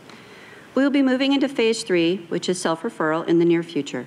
The third phase of MAT will most likely increase the number of individuals in need of medication and substance use disorder counseling. Providing MAT services, including programming and counseling to all incarcerated individuals outside of dedicated housing is challenging. For safety reasons, we cannot program individuals of unlike classification levels together. The Sheriff's Department recognizes the need to provide consistent substance use disorder programming and mental health counseling to persons regardless of their classification level. In order to maintain a, a safe environment for the incarcerated person and staff, MAT cohorts must be conducted more often and include incarcerated individuals of all classification levels. The Sheriff's Department plans on starting six cohorts a year with 10 to 12 individuals per cohort in six of our seven facilities. This equates to services being provided to more than 400 incarcerated persons annually. One-on-one service will be provided to individuals who require SUD intervention, have unique reentry needs, or require additional or enhanced security needs due to charges, behavioral concerns, or mental health or medical concerns. These figures are estimated at about 5 to 700 a year. These estimates are based on current experience with our psychosocial and contracts in anticipation of increased MAT participation. Increased programming means we could conduct in-reach for almost 1,100 incarcerated persons each year. The requested funds from the framework will help the Sheriff's Department cover these additional progr programming and staff costs to provide increased evidence-based treatment and recovery support, including MAT, for persons with substance use disorders within and tra transitioning out of the criminal justice system. This $500,000 funding will be included in both recommendation number one, option A, recommendation number two, option B, which you will hear about later in the presentation. I will now turn the pre presentation back to Dr. McDonald. Thank you, Assistant Sheriff. To prevent overdose and prescription drug misuse, we will provide prescription medication disposal bags to people most at risk for having unused opioid prescriptions. This includes giving them to people who have recently been prescribed opioids for pain relief after medical or dental procedures, which aligns with evidence supporting the use of these disposal bags. The bags allow people to inactivate unused drugs and safely dispose of them in the trash. Today, we're recommending an update from the previously approved framework to reduce the size of the prescription medication disposal bags pilot program. The new pilot is envisioned to start with a focus on patient prescribed opioids for pain relief after a procedure in the central and east regions, which are the communities that have been hardest hit by the opioid epidemic. The pilot includes partnering with hospitals, medical and dental providers, and pharmacies in the identified regions for distribution of the disposal bags. Outcomes of the pilot will be included in future framework updates once it has concluded. To recap, a review of the framework approved by your board last year was conducted to prioritize evidence-based activities that meet state guidelines, that support, expand, or enhance current county opioid abatement efforts, and are not otherwise supported by other funds. The review provided an opportunity to restructure the framework in accordance with the state's defined core strategies, highlight activities included in the current budget plan, and prioritize new activities. Key updates include, as previously discussed, one staff year for the medical examiner to enhance toxicology testing and screening, funding for the Sheriff Department to provide medically assisted treatment for individuals transitioning out of county jails, and a reduction in funding of, for prescription medication disposal bags. The continued operational funding uh, for prioritized framework programs is projected to be in place through fiscal year 28-29 or longer, depending on the option your board selects today. Today's recommendation includes your receipt and approval of the updated opioid settlement framework by approving one of two options. Both options include the three updates from the prior slide and would include all the activities in the prioritized spending plan. Option A reduces the previously approved 8 million for the prescription medication disposal bags to half a million and reinvests the funds to support continuity of approved services as outlined in attachment A of the board letter through fiscal years uh, 2030 through 2031. Option B includes the same reduction of prescription medication disposal bags, but has a two-year shorter duration of program funding than option A, supporting current programs until fiscal year 28-29. This reduced frame, frame timeframe in option B allows investment of 7.5 million in one-time funds for construction of the East County Recovery Bridge Center, or RBC. The RBC was previously approved by your board as part of the Capital Improvement Needs Assessment process and was projected to be partially covered by grant funding that did not materialize. The RBC will provide a supervised, safe environment for those who are publicly intoxicated, primarily from alcohol or methamphetamine use, and will include screening and connection to care for other substance use disorders, including opioid use disorder. Outpatient substance use disorder services will also be available to ensure continuity of care. The state guidance around opioid settlement funds allows for infrastructure investments for new or expanded substance use disorder treatment infrastructure. The East County RBC represents an opportunity to leverage opioid settlement funds to fill a gap in funding. Health and Human Services Agency will continue to pursue infrastructure grant opportunities to support the Recovery Bridge Center. I'd like to turn it over now to Amy Thompson, who will now provide additional information on some cash flow projections. Thank you, Dr. McDonald.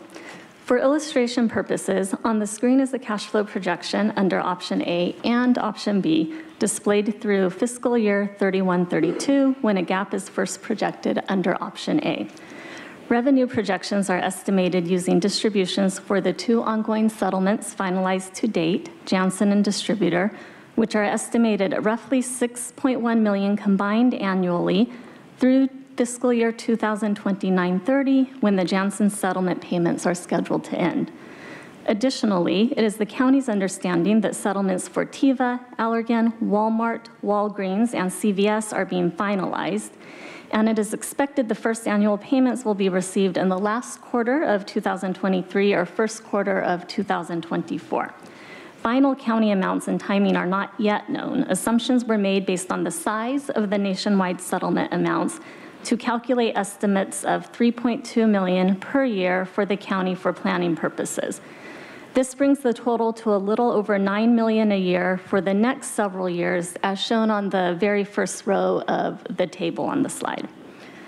Amounts for various other settlements in the pipeline are not yet included, but will be monitored and cost adjusted accordingly is needed to meet available revenues and priorities with the recognition that these are one-time funds over a finite number of years. Under both scenarios, there's a balance of 12.7 million remaining in settlement funds received last fiscal year that is being used to help support ongoing operations in the out years. All ongoing operating costs are the same under both options. The only difference, as described in the prior slides, is that option B also includes an additional upfront investment of 7.5 million to support the East County Recovery Bridge Center, bringing the projected spend to 16.2 million, bolded on the slide, in fiscal year 23-24 for option B, compared to 8.7 million under option A. You'll see in the slide in red over to the right that this additional upfront investment pushed the anticipated gap for ongoing operating costs up to fiscal year 2930 from fiscal year 3132 under option A. Uh, it is important to note that under either option, to promote sustainability of programs implemented where possible, the Health and Human Services Agency and the county's public safety group will explore additional Medi-Cal billing opportunities, as well as grant and federal and state allocations should they become available. I'll now turn it back over to Dr. McDonald to summarize the recommendations in closing. Uh, thank you, Amy, and in fact, uh, thanks to all of our presenters uh, this afternoon. Uh, today's actions request that you receive and approve the updated opioid settlement framework by approving either option A or option B. We also request authority to report back on any significant updates and add one staff year under the medical examiner's offices, office. Uh, Thank you, and our team is ready to accept any questions. All right, I'm going to go ahead and open up for uh, public comment first, and then we're going to go ahead and connect with my colleagues. Thank you, Chairwoman Vargas. We have eight requests to speak on this item, six in person and two requesting to speak by phone. Also note for the record that we received two e-comments, one in favor and one in opposition. Any members of the public that requested to speak on item 13 by phone, please dial into the conference line now using the instructions that were provided to you. We'll begin with the in-person speakers, starting with those in favor of this item. As your name is called, please come forward and stand against the east wall under the murals until it is your turn to speak. I'd like to invite forward Tara Stamos Buesig and Jason Sundby. And they'll be followed by the speakers in opposition, Mark, Truth, Hermes, and Paul the Bold. I've called your name. Please come forward. You'll have two minutes to address the board, and I'll ask you to please state your name for the audio record.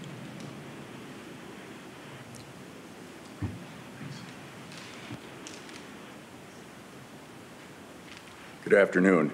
Thank you, Chair Vargas and supervisors. My name is Jason Sundby, and I'm the president and CEO of the company that manufactures the, the uh, drug at-home disposal product that we were talking about, uh, Deterra.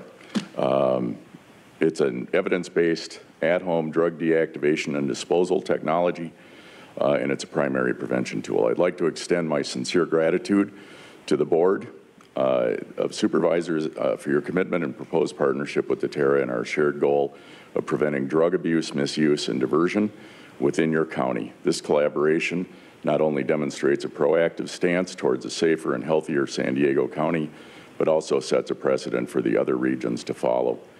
Thank you for leading the way and your dedication for the well-being of your community, and we look forward to the positive impact this partnership will undoubtedly create in the expansion of this pilot project to include, include all San Diegans. Uh, I'm here uh, to answer any questions you may have today or in the future, and thank you for your time. Appreciate it. Thanks. Thank you. Next speaker, please.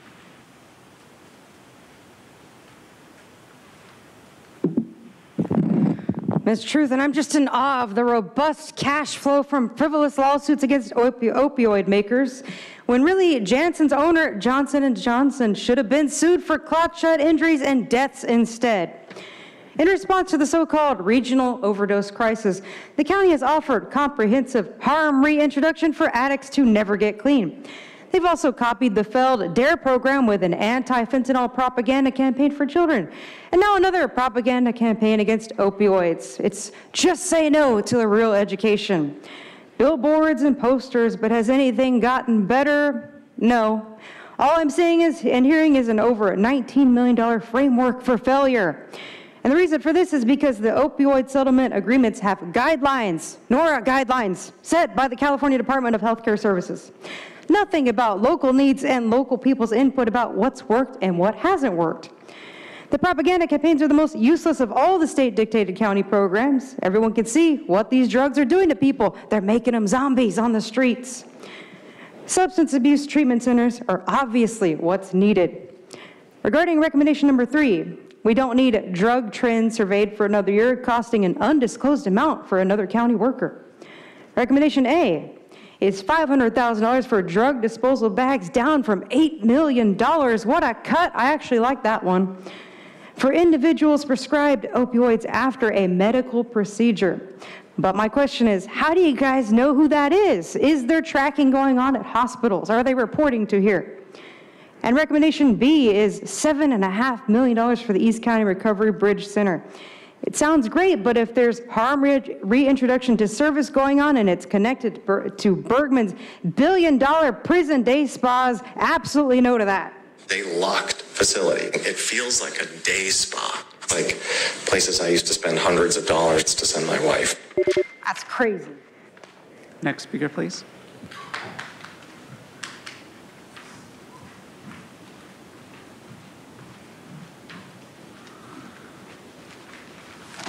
Mark. Well, um, first of all, the uh, Naloxone uh, stands, I think there's seven of them somewhere here downtown. Uh, I think I looked at a map of where they were once, I can't remember. Nobody I know knows where they are. There's only seven of them. Uh, I suppose if you had a child that did drugs, you might keep one on you, uh, concerned for your child or, or their friends. But the chances that you'll be near one or have any idea where it is are pretty much nil when something happens. Somebody could be half a block away, they wouldn't even know. The person would probably die right in front of them. Um, and uh, now, to some, it might appear that the supervisors are retarded, but I don't think you are. Um, of course, it's obvious to everybody that opioids are coming from South America, and if you don't close the border, I mean, good luck. You know, it's the. Also, as far as education goes, I do think it's good to tell kids about uh, how dangerous fentanyl is. Very deadly. However, any parent that's got a kid knows telling a kid not to do something uh, is, they, it's, they just make a beeline for it. It becomes the most popular thing with all their friends to do, is what you don't want them to do. Um, people need to see why the borders are open and why this problem is so bad. Uh, this Rosa Koire video, it's a YouTube title. Um, and if you see it from three minutes and 30 seconds, you can see that, oh, excuse me, this is the Rosa Koire video. Three minutes and 30 seconds to 24, uh, to, uh, well, the end of the video. And see this one about why the borders are open, creating the North American Union. That's Um, related to number 13? yeah, um, so, yes, 13. So literally, this is why it's happening. Next speaker, please. Mark.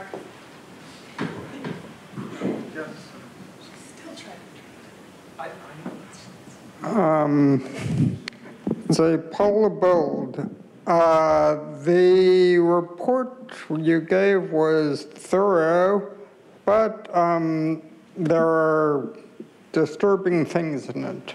Um, for one, uh, on educating sixth to eighth grade uh, students, uh, I would follow Mark's idea that, you know, if you educate young people, they are likely to mimic things and um, the there's also the danger that if you that teenagers like eighth graders might actually pick up on it and say oh well we can do it this far but let's you know just don't overdo it but they probably will um, and then it's only at 24 schools that seems kind of discriminatory to me like just like all the other equity crap this board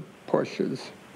Um, then you want one full-time equivalent person with a medical examiner. Uh, why didn't we hear anything about, or I didn't hear anything about a full-time equivalent to examine these drugs on living patients? Um, then let's see want to provide bags to people with prescribed opioids? What about just users? And why don't you prescribe less opioids? Then you might not need as many bags. Um, and I favor option B, by the way, building project that was already approved, and God only knows why you didn't do it. Thank you. Next speaker, please.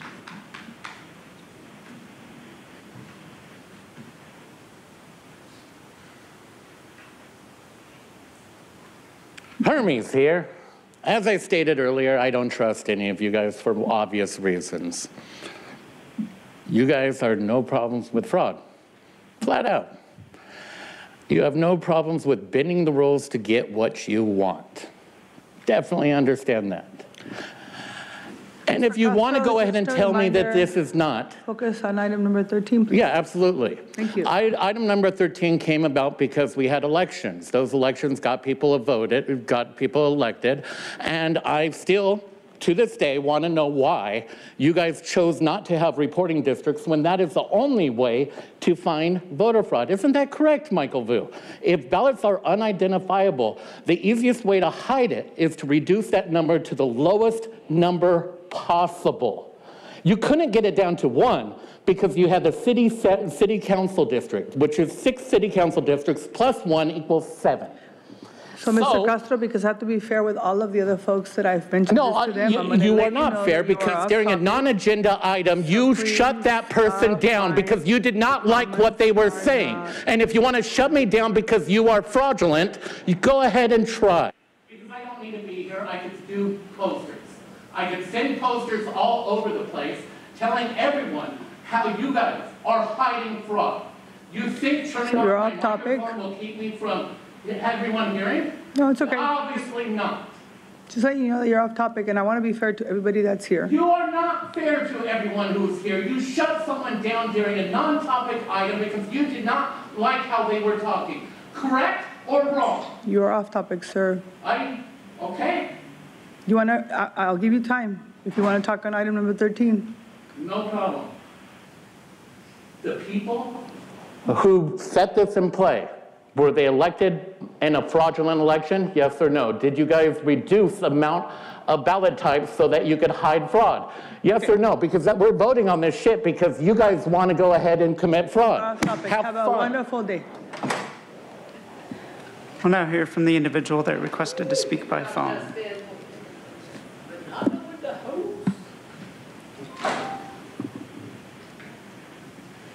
Dr. Death, I have missed you. Not really. Um, glad you've been taken on and putting your mask back on and off. It's good.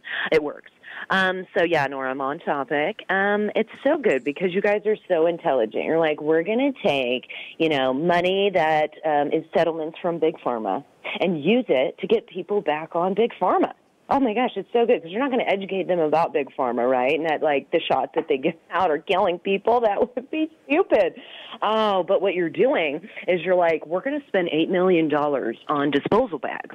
I mean, imagine how many poo bags I would have for my dogs if I spent $8 million. I mean, there's only 3.38 million people in the county. Imagine how many bags that is. I think you guys are being wasteful for the climate. It's actually very sad. Um, but it's interesting. I love how we're like, let's get people off drugs to put them back on drugs. It's just the drugs we want them to take, right? Um, and as long as we educate the kids about it, then they're going to turn into addicts like we like, and then we'll get more money for them as well. Because why would we want to even acknowledge that they're coming over the border, right? And imagine how many people do you think are hooping that while they're crossing the border? I wonder. Uh, do you even know what that means, Nora? Anywho, um, yeah, it's just Dr. Death and the sheriff together again, right? Doing more things to destroy people and spend their money. $8 million, though, on disposable bags. That is probably the smartest, you know, spending of our money that I could possibly think of. Um, wondering what's going to, like, if you've ever actually used all of those bags, who knows? Um, maybe some people can, you know, just suffocate themselves with it. It'd probably be easier to get people to just depopulate in a faster manner. Um, but yeah, I just love it how we just think educating people about stuff is going to stop things or, you know, just perpetuate it. Um, but it's good. Oh, man, I wish I was there with you, Dr. Death. Thank you. For the record, that speaker was Audra. Final call for Terra Stamos Buesig. Not seeing any movement in the chamber. Chairwoman Vargas, that concludes public comment on this item. Okay, with that, uh, I'm happy to make a motion uh, to support item, you want to put them up? Not working, it's not working? Should I do a drum- drum roll so you all don't know which one I'm supporting? No, I'm just kidding. So uh, I think item uh, B, and um, I want to just first thank our team for all the work that they've done on, on this item, and what's happening? Okay, Recommendation one, option B. I know that there's, um, it's a pretty complex issue, and uh, there's been a lot of uh, cross-department collaboration around this work, and so I want to thank you for all the work that you've done around it. Um, That particularly, around um, county overdose surveillance and the response that's taken place uh, with our behavioral health department. And so um, I know that there's still work that's being done to identify additional funding to, to, for the Recovery Bridge Center. I think it seems to me like this is what folks have said that would work well, and it allows us to really do funding for long-term versus just short-term. Um, I will say that I want to make sure that it's uh, funding that goes for folks that are everywhere, but I understand that the location is the East County Recovery Bridge Center, but there's people who come there from all over the county, right? Am I correct? Uh, The, the um, populations of focus with the Recovery Bridge Center would be people living relatively proximate to, so we expect higher utilization among people living in East County. That's kind of been part of the rationale for developing that. Mm, Okay, all right. Okay. All right, and did you, um, Supervisor? I had some questions and some comments. So um, first of all, I really appreciate all the work.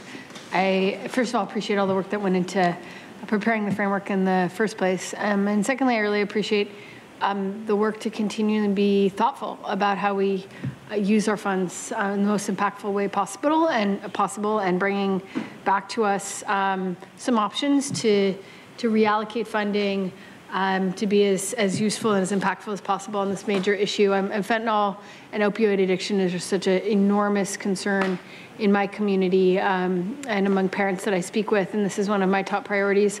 So I, I think it's really, um, it's just really wonderful that we were able to win this money from the opioid settlement in the first place, and then um, devise a, a thoughtful strategy on how to invest it back in our community. So I think that's the big, you know, obviously very supportive. Um, I am kind of leaning to option one, um, A. That was what I had initially thought walking in here, um, but I want to just better understand kind of the trade-offs. Um, the the East County Center, what would be, how would we, it's a one-time capital investment for the East County Recovery Bridge Center. Where would the money come from for ongoing, like OMM, O&M, ongoing operation and maintenance or, you know, services? Within the Recovery Bridge Center, once it's established? Yeah, right, because I think, Yeah. right, we have two choices, right? One is basically take this uh, 7.5 million and support, support the ongoing investments to, that we already Yeah. were planning to get to 2030, 2031. That's right. Um, Or the other is to kind of cut those other services short a little bit early. Um, What, what's the date they would, they would terminate currently? So with option A, um, as Dr. McDonald noted, uh, FY 3031, with option B, 2829. 2829. So we'd cut them short by 2029, but we'd have money for this um, East County Recovery Yeah. Bridge Center.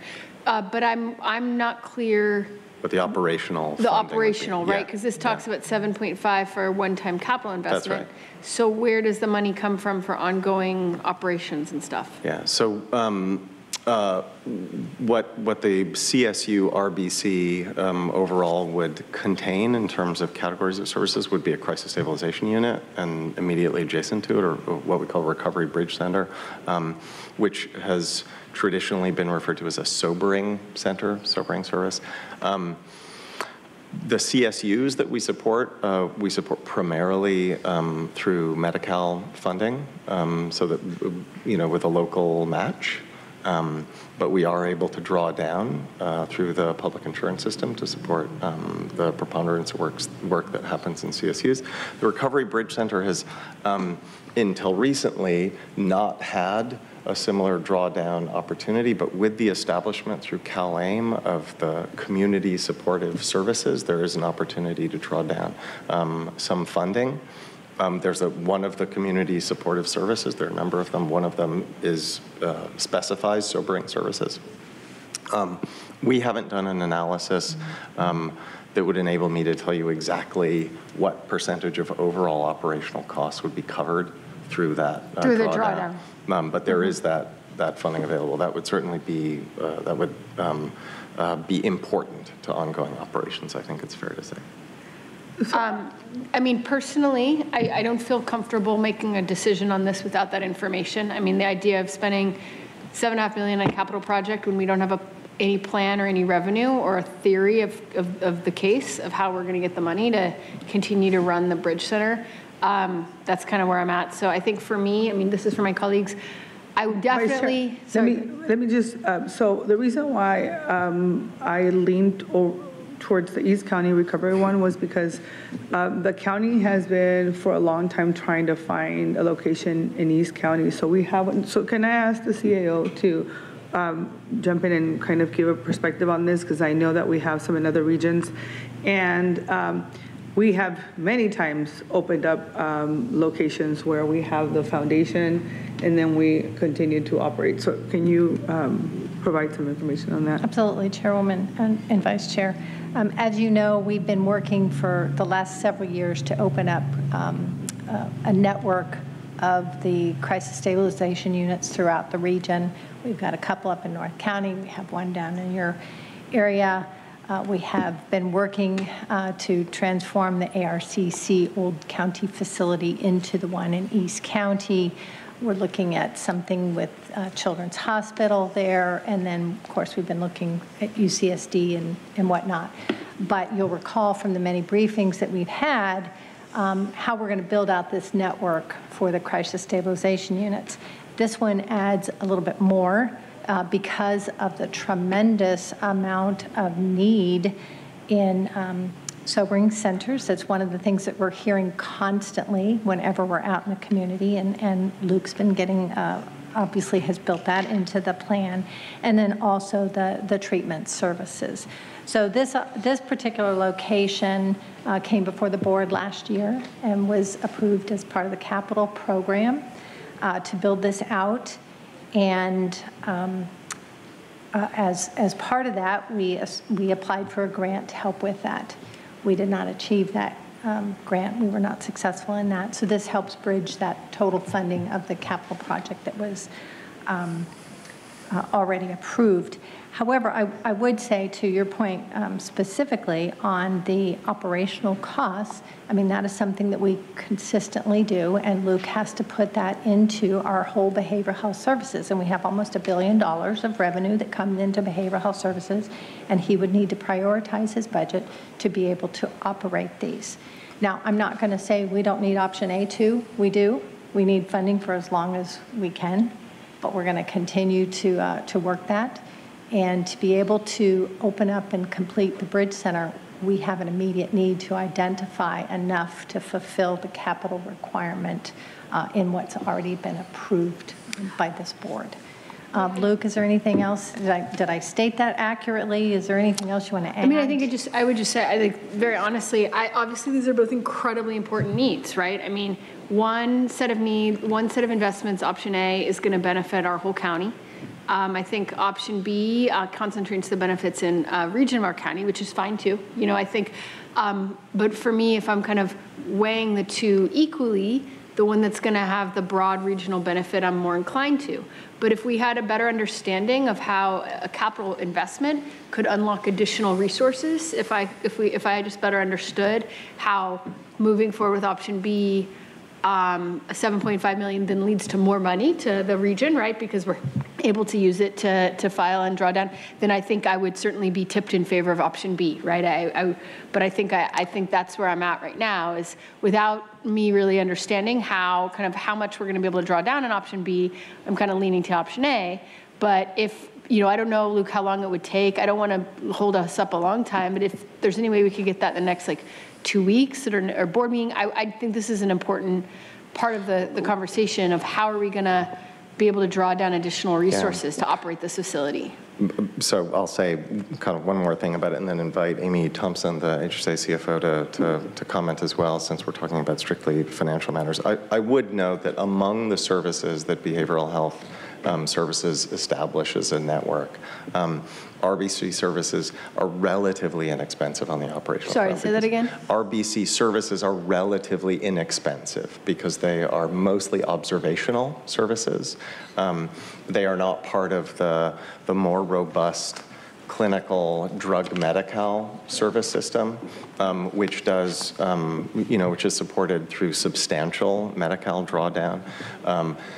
And there is a, you know, it looks like there's on, there is some ongoing operational upside relative to what there has been traditionally, and we have run these services traditionally at greater, to, you know, sort of with a greater proportion of total cost borne locally, um, because the this new reimbursement that's established with community supports again is just a part of a uh, a recently established thing with um, uh, with CalAIM.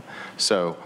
Um, I, yeah, I would just say that, um, you know, that though I noted that I don't have like exact numbers with respect to what the, the kind of revenue and total cost relationship is, um, it is not a terribly expensive service.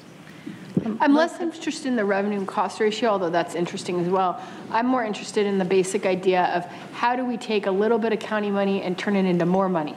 Right? And so the, I'm, I'm really interested in if we're making a fixed capital cost investment, how much additional um, federal dollars it, could that potentially draw down for our region? You know, how do we take one dollar and turn it into two, as opposed to one dollar just being one?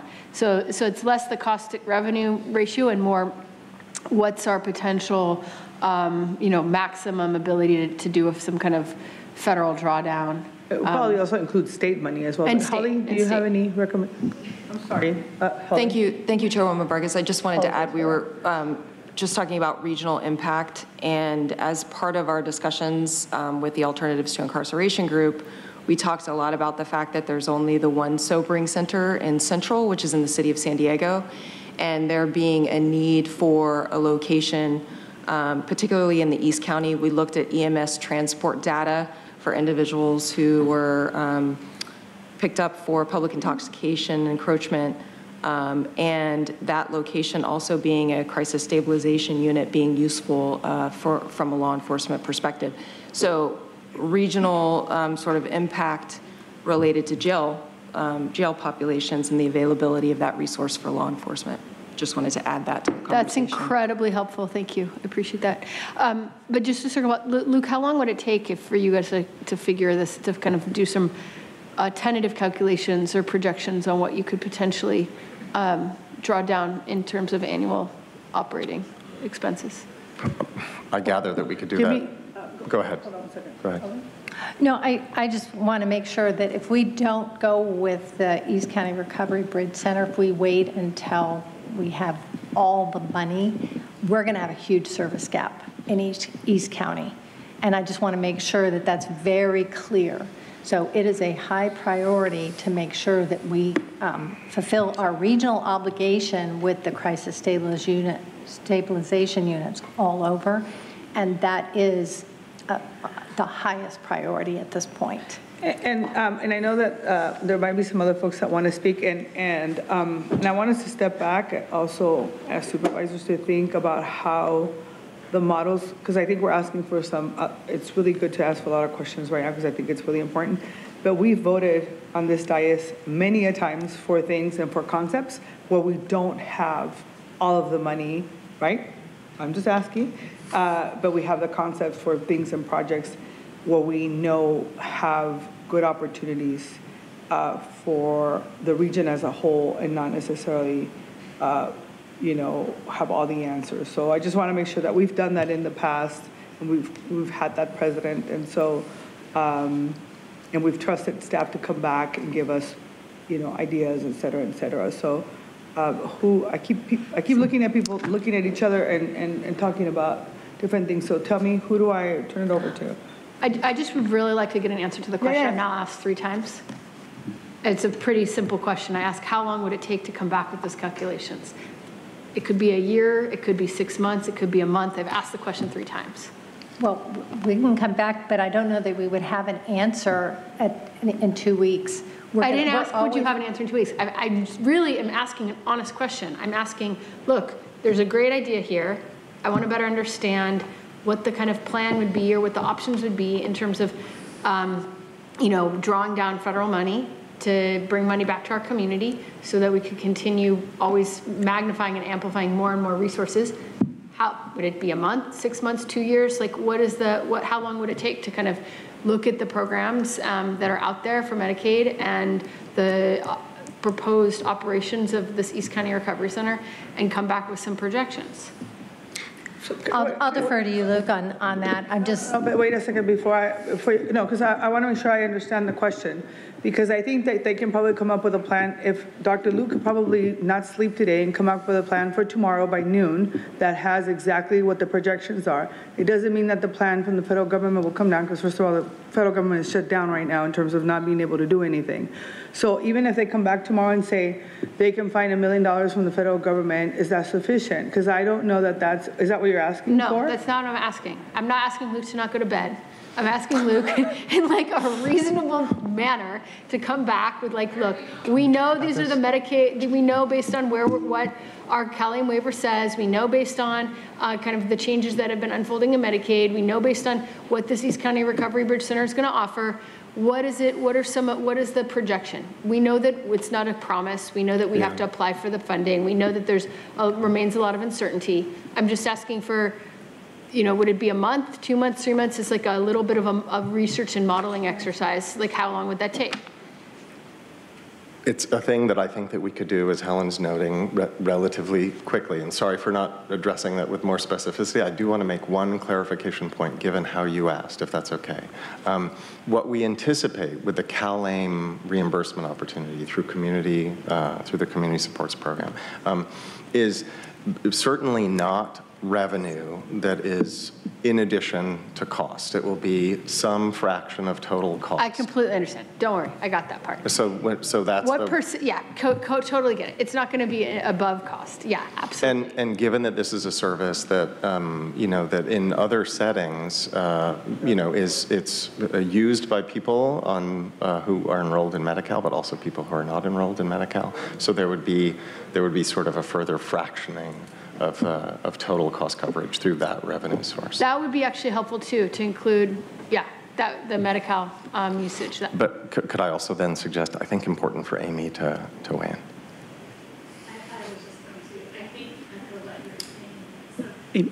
Sorry, it was off. Um, So I think, Vice Chair, we could do that in pretty short order, using a set of assumptions as Luke described in terms of the mix of uh, Medi-Cal population that will be there. There will be an outpatient component for SUD. Um, We do have a lot of experience billing under drug Medi-Cal for outpatient services. We do know that um, the Medi-Cal population that was part of um, the expanded population under the Affordable Care Act, we get reimbursed almost 90% um, federal dollars for those services. So we can look at the scope for the RBC and the outpatient piece, make some assumptions around the um, the sobering, the pure sobering center piece that's not connected to, to the outpatient billing um, under Cal and come up with, you know, rough estimates based on some assumptions as to how much federal revenue um, and some state revenue as well that we could draw down. If you're asking, like, you know, our operating costs, how much of our total operating costs would be federally and state covered, I think is what you're asking. That's exactly right. Okay. That's, so what I would love to do, if it's okay with my colleagues, I'd love to um, support this moving forward today with an amendment, an additional amendment, just asking our team to come back in some reasonable time period that doesn't require Luke uh, not going to bed, um, to, to answer these questions about uh, kind of rough projections on how much we could uh, be, potentially be able to, to draw down by um, uh, pursuing um, state and federal matching funds and, and really looking like what's the maximum that we could get um, not, not, not the minimum, but really what's the maximum we could get, what the caps are. So that would be great. And if that's amenable to my colleagues, I'm happy to support this. And I don't want to put a time limit on you all, um, but a reasonable time. But we do have term limits. Yes, thank you. So, yes, a, a reasonable time that uh, acknowledges that we have work to do and we'd like the information sooner rather than later. You got it. Supervisor Anderson, um, did you have other comments? Uh, well, Only in the, since we worked this issue pretty hard. Uh, The only thing I wanted to say is, you know, we spent a year, uh, Supervisor Fletcher and I spent a year putting the uh, opioid settlement framework together. And I just want to compliment uh, Dr. Bergmann and staff for their fine work. Uh, Everything that we had hoped, not only have you delivered uh, with evidence-based solutions, but I think that you've also added improvements to our early plan. So I just want to thank everybody uh, for your hard work. It's much appreciated. You know, uh, the reason why Nathan chose to work with me on this issue is because we had such a high opioid uh, crisis uh, when you look in San Diego County, sadly, I'm not proud of this, but we're an epicenter. And hopefully, with the bridge and with all the other work that we're doing, we're going to see positive results, improve people's lives, and lift people in our community. So thank you. Thank you, sir. We have a motion, and it was an adjusted motion. Uh, Chair, do we need any precise language for my amendment? I think we do, right? That would be helpful. I can go over. Um, So I guess would to be add add on a, um, a recommendation um, asking the CAO to come back in a reasonable time frame with some analysis regarding the maximum um, we could be able to draw down in state and federal matching dollars to fund um, operation, uh, ongoing operating expenses for this and this facility. Does that work? I just want to clarify, it's a report back. It's a report back. Thank This is passing today, but as part of the recommendation, asking for a report back. Perfect. Yeah. Thank you. All right, we might have a motion and a second. Please vote. Chairwoman Vargas, that motion passes unanimously with all supervisors who are present voting aye. All right. We're now going to move on to discussion item number six. I'm going to turn it over to public comment. Thank you, Chairwoman Vargas. We have eight requests to speak on this item, six in person and two requesting to speak by phone. Also note for the record that we received 81 e-comments, 54 in favor, 23 in opposition, and one neutral. Any members of the public that requested to speak on item six by phone, please dial into the conference line now using the instructions that were provided to you. We'll begin with the in-person speakers, starting with those in favor of this item. As your name is called, please come forward and stand against the east wall under the murals until it is your turn to speak. I'd like to invite forward Truth, Consuelo, Paul the Bold, and Michael Brando. I've called your name, please come forward. And they'll be followed by the speakers in opposition of this item, Pam and Mark. Uh, Excuse me. Thanks for not gaveling me. Um, uh, Paul Bold here. Thank you for bringing this item up. It's about time Sandag's obstinance in not removing the road user charge from its official plans is noted officially. Um, I think, frankly, that Sandag's stewardship of money, its continual cries for more, more, more for the road user charge, I think all of that is really disgusting. It's anti-people. Um, I really don't see any point in even continuing Sandag. I think the board should be dissolved in, in its present form at least and um, reconstituted with a focus on actually doing what it should be doing, which is transportation planning, not urban planning. Um, I think, you know, continuing to spend money and time and effort on just doing what the people keep rejecting is a total waste of funds and an, an abuse of our tax dollars. Thank you. Thank you. Next speaker, please. This is truth, and I love and hate Sandag. The 2025 regional plan will cost over $165 billion, yet they claim that it's a digital platform that collects information from vehicles, delivery trucks, e-bikes, and scooters into a centralized data hub. Travel lanes can be dedicated to different uses at different times of day, end quote. That means the regional plan is inherently a tracking system to control road use, and not a single rep has spoken against this digital regional road surveillance system yet. This little mashup of Hasan and crew describes it all. Maybe a couple of freeways shouldn't exist in San Diego, period. People say, oh my God, he's not only doesn't want to expand the freeways, he's going to take them away. And that's true.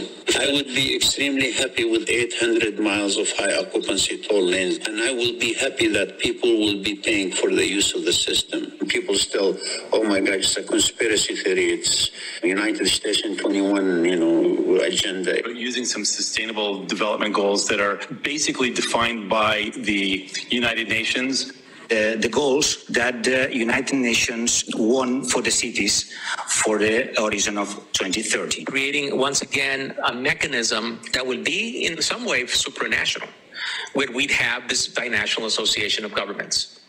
And here's what a Sandag conference room poster board reads, quote, three key technologies to fuel this revolution, the Internet of Things, big data, and artificial intelligence, a transportation system that is shared, connected, and autonomous, end quote. So Nora, when is the right time for the ultimate plan? Because I'm going to say there is no right time for consolidation of power and control. It's Agenda 21 in the open. That's all they're really pushing at Sandag. Next speaker, please.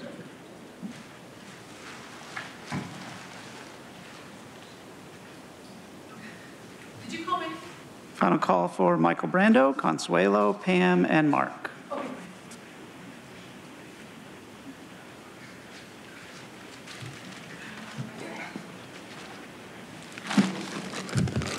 Mark, the support people aren't done. I actually am in support also, but except that it's a moot point because they're going to do this anyway in other ways. So uh, again, people should see this YouTube video title to understand what's going on uh, with Sandag. Uh, you can watch Rosa Koire's video from three minutes and 30 seconds through the rest of it. That's very important. She, she's an expert court witness who will explain it to you. Uh, and they're not going to give me time here in a minute and have to. Then you can see these uh, titles. This is a KUSI story, I think, or it's, it's a news story, if you Google it, where Mayor Wells is literally saying, he, he's a board member of Sandag, and he's saying that they're not doing the will of the people, they have their own agenda. Now, what he doesn't tell you is what Rosa Koire tells you about what their agenda is, the UN Agenda 21, uh, which is trying to take control of the entire world. Um, and uh, now this is a title of a YouTube video. It's the Sandag meeting where you can see our government uh, that Nora is the, the, not only the chair here of our supervisors, but she's the chair of Sandag.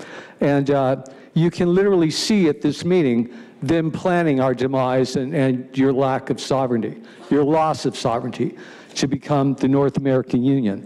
At 14 minutes, uh, Nora is committed to removing all barriers to the border. Um, let's see. Uh, and they talk about controlling your movement. Um, that's at an hour and 24 minutes and 15 seconds, uh, et cetera. You also need to see these other videos to understand, because this is different groups together to do a globalist agenda. UN agenda. Klaus Schwab, see this title, where he states he's penetrating governments, including half the uh, cabinet of Canada, and now ours. Next speaker, please.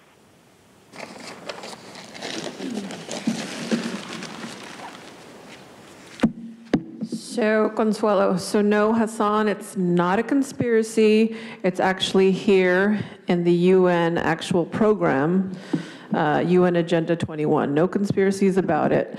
Um, the thing is, is that it was uh, VMT, now RUC.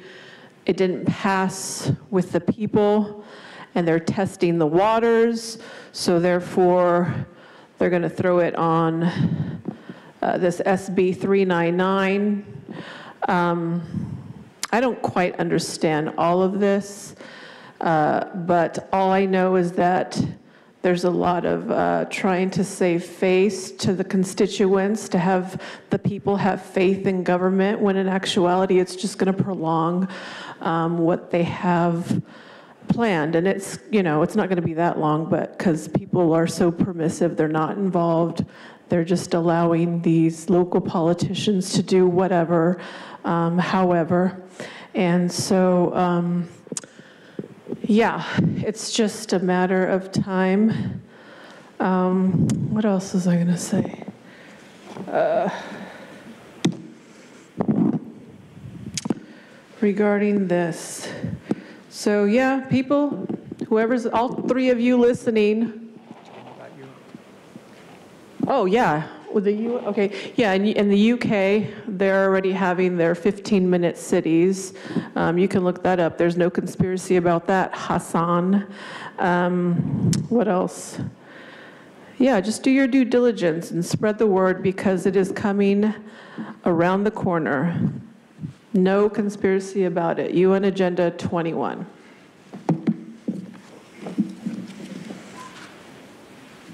Thank you. Next speaker, please.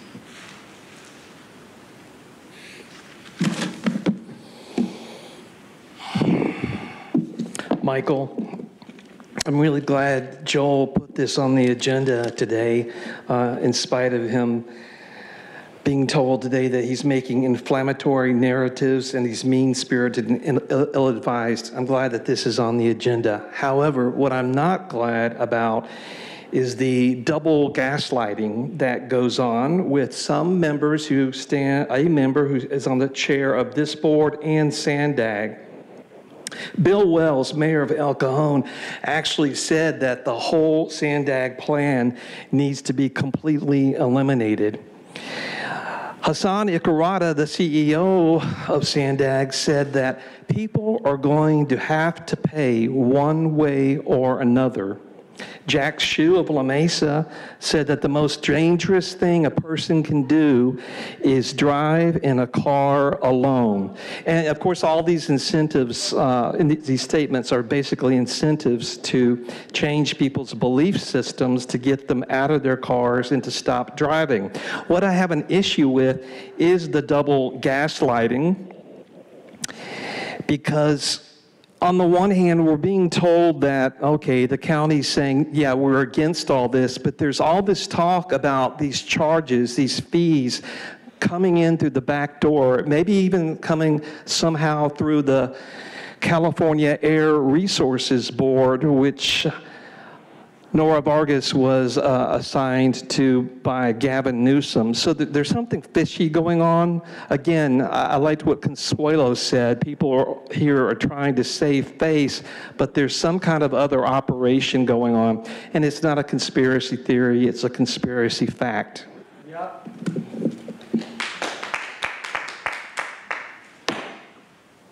We'll now hear from the individual that requested to speak by phone on this item.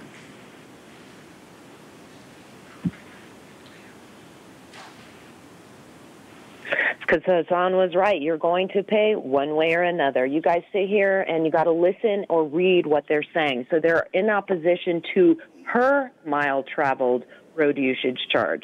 It doesn't mean that they want to get rid of the road usage charge altogether, just the per mile traveled. And it's coming down the state no matter what. Okay, the state's going to put it through, and you guys haven't even had your plan okayed by the state to make sure that taking this out of the plan is going to even give you funding. Because you guys got to make up for the $163 billion. And Joel, as you like to say that you're doing something right to make it look good, you're the one that wants to charge the EVs uh, electric vehicles a charge for per kilowatt, right? So it's going to come from the people either way. Don't let these people fool you and make you think that, oh, we're taking this out. No, no, they're not. They just want you to believe that so then you act like, then you can come and, and, and, and accept what they're doing. Everything is about control. They need you to stop driving. They even say that if you get in electric vehicles, it doesn't matter because we need to get people out of their cars and onto public transit, biking and walking. Pay attention to what they say. They tell you exactly what they are doing, but if you do not pay attention, then you will not see clearly. These people are set out to make sure that you are in a 15 minute city. It has nothing to do with giving you freedom. It has everything to do with taking every freedom that you have and making sure that you are re- reliant on the government so that they can give you soylent green, sewer water, bugs, and pretend that they're saving the planet by putting you in a densely populated area where you have to get a permit to go see your family. Everyone needs to wake up. This is a show. This has nothing to do with taking out any. It has. You, for the record, that speaker was Audra. Chairwoman Vargas, that concludes public comment on this item. Uh, Thank you, Madam Chair. We're almost done with the meeting. Can you just be civil, please? Go ahead, sir. Uh, Thank you, Madam Chair. Uh, Two things, I pulled this for, uh, one, there was some confusion that we were saying that no road usage charge. This was to mirror the Sandag vote. We already voted on it. I want, I thought it was important enough that our board ratify the vote that we took. Um, But if somebody builds uh, a bridge and there's a toll, that's not included in this. If somebody increases uh, a lane and that's a managed lane, that's not included in this, and nor was that true of the vote. Uh, But I want to make sure that, because Caltrans had a concern over that, and I wanted to honor their concern, but approval of this item would align the county's position on road user charge per vehicle mile traveled fees with Sandag's position to oppose these charges moving forward. So uh, we've already done the vote at Sandag. Uh, I want to give kudos to you, Chair, because uh, you have defended this vote uh, at least six months, and we still have people saying we don't believe in our vote, and I just wanted to put it to bed once and for all. Uh, So thank you for this opportunity. And I make that motion.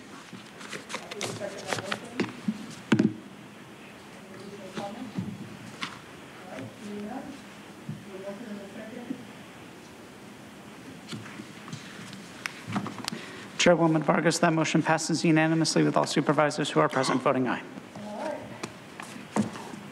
Next item on the agenda is, um, we usually ask, uh, we ask uh, my colleagues if they have any items to report on for board committee member, board committees. Do any of my colleagues have any committee reports? I just want to really quickly let you know that I, um, I was in Mexico City on behalf of the county and Sandag for the delegation with the Chamber of Commerce and had a very successful, I guess it was 24, 30 hours or something like that, very intense um, couple of, couple of uh, meetings, a lot of discussions around water issues, Tijuana River Valley, um, with the delegation on behalf of uh, San Diego, with the mayor and a couple of other um, local elected officials, and uh, met with uh, the Mexican delegation as well, um, and trying to get additional dollars and um, to look at uh, um, addressing and getting additional funds uh, for Imperial Beach and Coronado as well. And so that continues to move forward. I wanted just to share that with you. And, um, and then at Sandag, I think everybody knows um, that we are going to be uh, hiring a new uh, CEO. We are going to be hearing that item on Friday, and so the board is going to be approving that process. It's a very, very thorough process. I've already hired a consulting firm that's going to be hi- uh, um, helping me in that process, and so more information to come. And other than that, next item on the agenda is adjournments. And so um, the first, let's see, we're going to hear, do you have any public comments first? right? Not an agenda. Thank you. It's okay, out. sir, I got it. I'm running the meeting, don't worry. Thank you, Chairwoman Vargas. We are now going to return to the remaining non-agenda public comment. We have six remaining requests to speak on matters not listed on the agenda, four in person and two requesting to speak by phone. For those that requested to speak by phone, please dial into the conference line now using the instructions that were provided to you. We'll begin with the in-person speakers. I'd like to invite forward Maria Elena Greenman Lind, Truth, Paul the Bold, and Consuelo. If I've called your name, please come forward. You'll have two minutes to address the board, and I'll ask you to please state your name for the audio record. Good afternoon. I know it's been a very long and busy day, but I'm grateful to be here with you because the message I have to carry today is still very important. Um, I am Maria Elena Greenman Lind. I am the Youth Development Project Coordinator for Juvenile Justice Advocates of California. Adam Montero spoke earlier about us requesting funding and waiting for a response. I have developed a program to work with our youth at East Mesa Juvenile Detention Facility and at YTC. I have submitted to you 21 letters of youth advocating for us and advocating for themselves. I want to introduce you to Autumn. Her letter is in here. When I met her, she was at East Mesa, very hard, complex, very hard to get in touch with her heart. I have been able to get her on her own recognizance to be able to write you guys a four-page letter of the need for continuing programming. I'm constantly been hearing from staff at both facilities that there is not enough people going in to do program for the youth. Um, they're not able to connect with the youth. And so they are very hyped on this program we've been able to uh, create. These letters speak volumes. Um, we come from a very heart-centered space, so we get to the core issues. We begin to talk about healing and understanding where it begins, so that we can begin to address who we are, find our identity, help them to get to those core moments where they can be empowered and find their voices. Um, we are advocates for the youth, and today I would like to be able to be here with them, even though they can't be present. Um, we really would like to ask, please take into consideration, we have three districts left who have not replied to us on that funding, um, because unfortunately it is running out. We are looking on the outside, but they are your babies. They are in the probation department, they are part of the, the, the county, and they are yours. And we ask for you guys to please support those spaces, because these hearts and these minds are so precious, and they are all yours to take care of. Thank you. Thank you. And um, Amy from my team is coming back, uh, coming out, um, and you have my information. You should always just call me directly, girl. I don't want to bug you. All right. See you. Thank you for being here. Next speaker, please. Hi, I'm Paula Bold. As I remarked last time, we're governed by two constitutions, the United States and California versions. From what I have seen, the California Constitution puts people and rights first, unlike the U.S. Constitution, which puts government first. The articles and rights are an afterthought, amendments after the fact. So government in California is, if you will, a second thought, literally a byword, a bunch of turds. So think of that, Sheriff Vargas, next time you do one of your pro-government, anti-people rants. You're calling people out of order is so highly selective that it is an insult and violates the Constitution. Last meeting, you let an old woman ramble on and on about her own proud history while you cut off several speakers for being off topic while they were complaining about the county. Calling people out of order on a non agenda item, as you did today, is absolutely perverse. And at the last meeting, you randomly and explicitly allowed clapping for no road user charged at Sandag the previous Friday. Your thing. Yet you regularly chastise the audience for constitutionally allowed clapping when not aligned with your pet projects. But let me ask do you think there is a reason why so many people are now directly citing and quoting the law and the authorities? Thank you. Next speaker, please. It's Truth, the little activist with a recognizable shoes, or at least that's what a lady called me last time I was here. So here we go. Thanks for this swag. You know, I don't think I'm going to wear it though. In this month's county secret spending, Terra gave $20,000 to Filipino Worker Center of Southern California, who are based in LA, and $25,000 to the Walter Munk Foundation. Walter showed zero care for humanity when he contributed to atomic bomb testing on Bikini Atoll and Enewetak Atoll. And Jim gave $50,000 to Oceanside Community Services Television Corporation for a mobile TV truck. It's a waste of money. And he should rethink that spending because he's actually helping keep that little worm, Kevin Teddy Stevenson, at work as a broadcaster at KOCT. The total debt these supervisors have put us in in only one month over $1.1 million. And that's exactly why that spending is no longer shared in these meetings, because now it gets to skyrocket in secret. Now I realize that the term smart growth or smart city is the exact same thing as Planned Parenthood or reproductive health care, vernacular deception. Planned Parenthood founder, eugenicist Margaret Sanger worked with Clarence Gamble of Procter & Gamble. Here's Margaret's letter to him from December 10th, 1939, quote, if the enemy started to work, they might make it difficult. While the colored Negroes have great respect for white doctors, they can get closer to their own members and lay their cards on the table, which means their ignorance, superstitions, and doubts. If we can train the Negro doctor, it will have far reaching results among the colored people. The minister should be trained, perhaps by the Federation, as to our ideals and the goals we hope to reach. We do not want word to go out that we want to exterminate the Negro population. And the minister is the man who can straighten out that idea if it ever occurs to any of their more rebellious members. Sincerely yours, Margaret Sanger, end quote. So, Nora, are you ready to denounce this racist organization? You should consider it. For the record, I denounced Margaret Sanger many years ago. What year? Just kidding. Um, I doubt that they would have that. Anyways, I wanted to uh, read words of one of our Palestinian sisters. I won't say her name, but uh, she wrote. Can you please state your name? Consuelo. Yes, we remember. We know what it feels like to be terrified and terrorized. We absolutely know what it feels like to see innocent children die. There's nothing worse. None of this was unprovoked, and none of it should be surprising.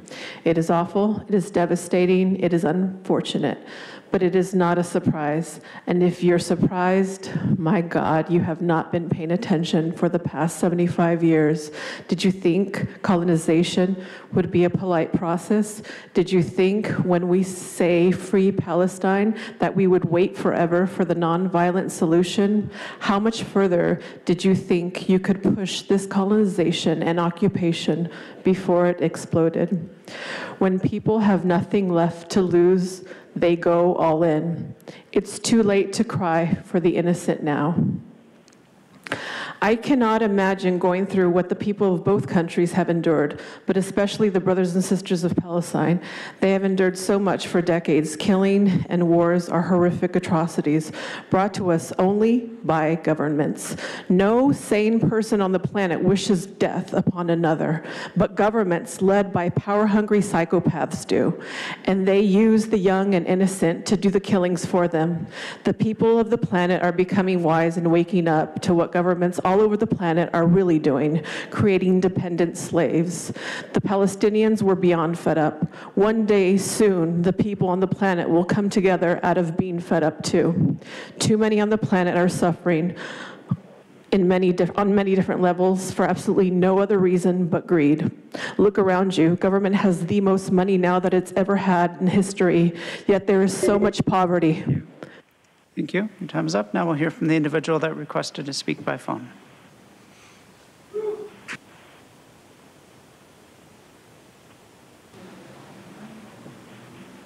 Amen, sis. Life is a business. That's what's so sad, but whatever. Wasn't expecting to. um, yeah, I'm just wondering, you know, Nora, it doesn't matter if you, you know, uh, just like, you know, whatever, uh, Margaret Sanger, you still love babies being ripped apart limb by limb. That's why we have to pay attention to what's going on around us. All of these people, it isn't about, you know, um, like they want us to be pitted against each other, like Consuelo was saying. And they want us to, you know, choose one side or another. And we're, what we're doing is like not paying attention to what's really going on. These people all tell you exactly what they are up to and what they are doing. It's just up to you to pay attention and to understand that it is all lies in order for total destruction. These people don't care about lives, they don't care about peace because they want to destroy one side or the other, all while the men, women, and children that are innocent are suffering the consequences of their actions, just like we do here locally on a massive scale. You can't sit there and be like, I denounce this person, but you engage and, and support the exact things that they're doing, which are murdering children, their babies. And we're sitting here acting like it's okay. And you sit there and you silence people for absolutely no reason at all. You got to be on topic. It's non freaking agenda. I can talk about whatever we want but you can't handle the truth. And that's what's so sad. You had to take that woman out of the board meeting because she was suffering and crying out. You can't have people hear that so that they know what is going on around them. People are suffering, and it's at your hands, and you guys don't even care. I can't imagine looking in the mirror being one of you guys and going, I'm doing the right thing because you know what? Satan is proud of you guys because he is. You are doing the right thing in that realm, in the darkness, in the evil side of things. But you could turn around and walk in the light. Your time is up. Chairwoman Vargas, that concludes the request for non-agenda public communication this morning. If you'd like, we can hear from the speakers on closed session items. We have two requests to speak on matters on the closed session.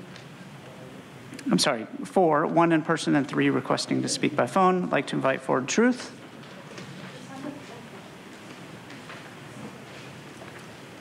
All right, truth. Case A is Arthur Price versus the County of San Diego. Food Not Bombs, along with five homeless individuals, also sued the City of San Diego.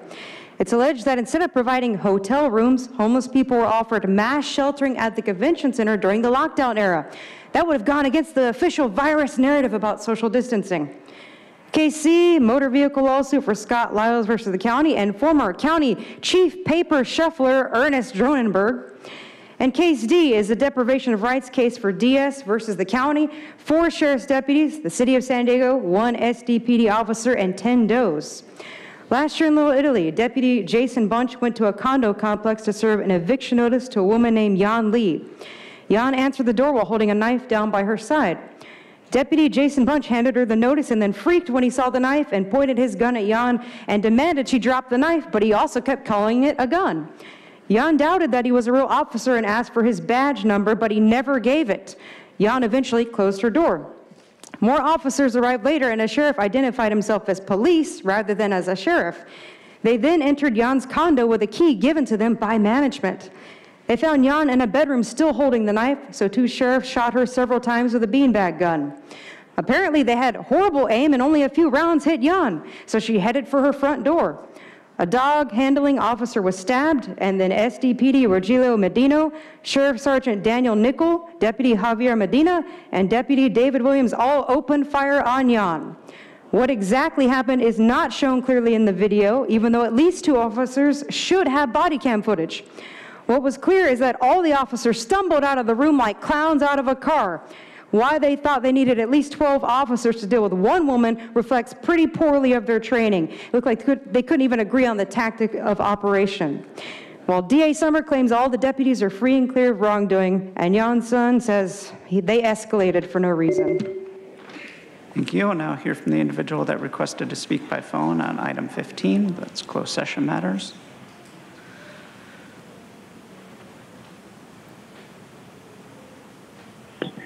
Man, it's pathetic. So, A, you guys are using, uh, you know, homeless people couldn't even get a hotel room, yet you're giving these hotel rooms during, you know, your whole COVID 19 pandemic to whomever. Um, and the people that really need it, you're just stuffing them inside someplace.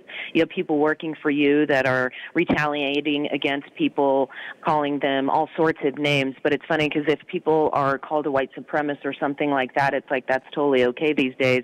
But this fatal deputy involved shooting is very, very disturbing because, you know, I mean, we can beat people up and it's totally exonerated. We can also shoot people down and kill them and have it also be like, you know, they just should know what they're doing. It's very sad what's going on because you guys don't even know how to deal with anybody who supposedly has some kind of mental health issue. And you, they go in, and these people with some kind of authority that they're supposed to be protecting us are sitting here and killing people, murdering them, murdering them with weapons. That's exactly why the people need guns, is because we have a threat of the government coming after us. And we can't do anything about it because you guys sit there and you exonerate each other and you're like, no, there's nothing to see here. Who do you go to when the people that are supposed to protect you are murdering you? What are you supposed to do? Huh? What are you supposed to do? And then you want to take our guns and say, you know what, the police need them. The police need them. The people don't, but the police do so that they can murder the people.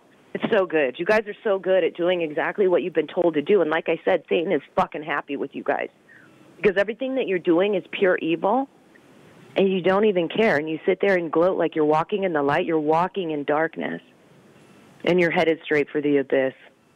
And that's on you guys. Like i said you could turn away but you choose to do this. You choose to walk down this path.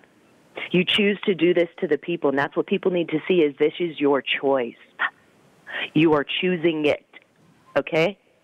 Because you could choose to turn away and you choose not to you choose to continue down the destructive Thank you. And Chairwoman Vargas, that concludes public comment on closed session matters. Thank you. Uh, For adjournments, I'm going to turn it over to um, Supervisor Anderson in memory of Ophir Lievestein. Uh, Thank you, Madam Chair. You know, while I didn't know the mayor personally, many of my constituents did, and he had a profound impact on their life. So sadly, I'm adjour- adjourning today's meeting in memory of Ophir uh, Lee Liebenstein, who was the incredible mayor of San Diego's sister city, Sharar HaNegev. And I apologize for pronunciations. Uh, he was in southern Israel. Mir Ophir was killed this past weekend defending his community during a series of terrorist attacks by Hamas. He was born in the port town of Eilat in southern Israel, and a true build, he was a true bridge builder for peace. He was known far and wide for his remarkable efforts to bring Jews and Arab Israelis, Palestinians, and Bedouins together. His commitment to fostering harmony was truly exceptional. Mir Ophir's impact extended beyond peace building. He was a champion for employment opportunities and played a crucial role in shaping industries in Shahir HaNegev.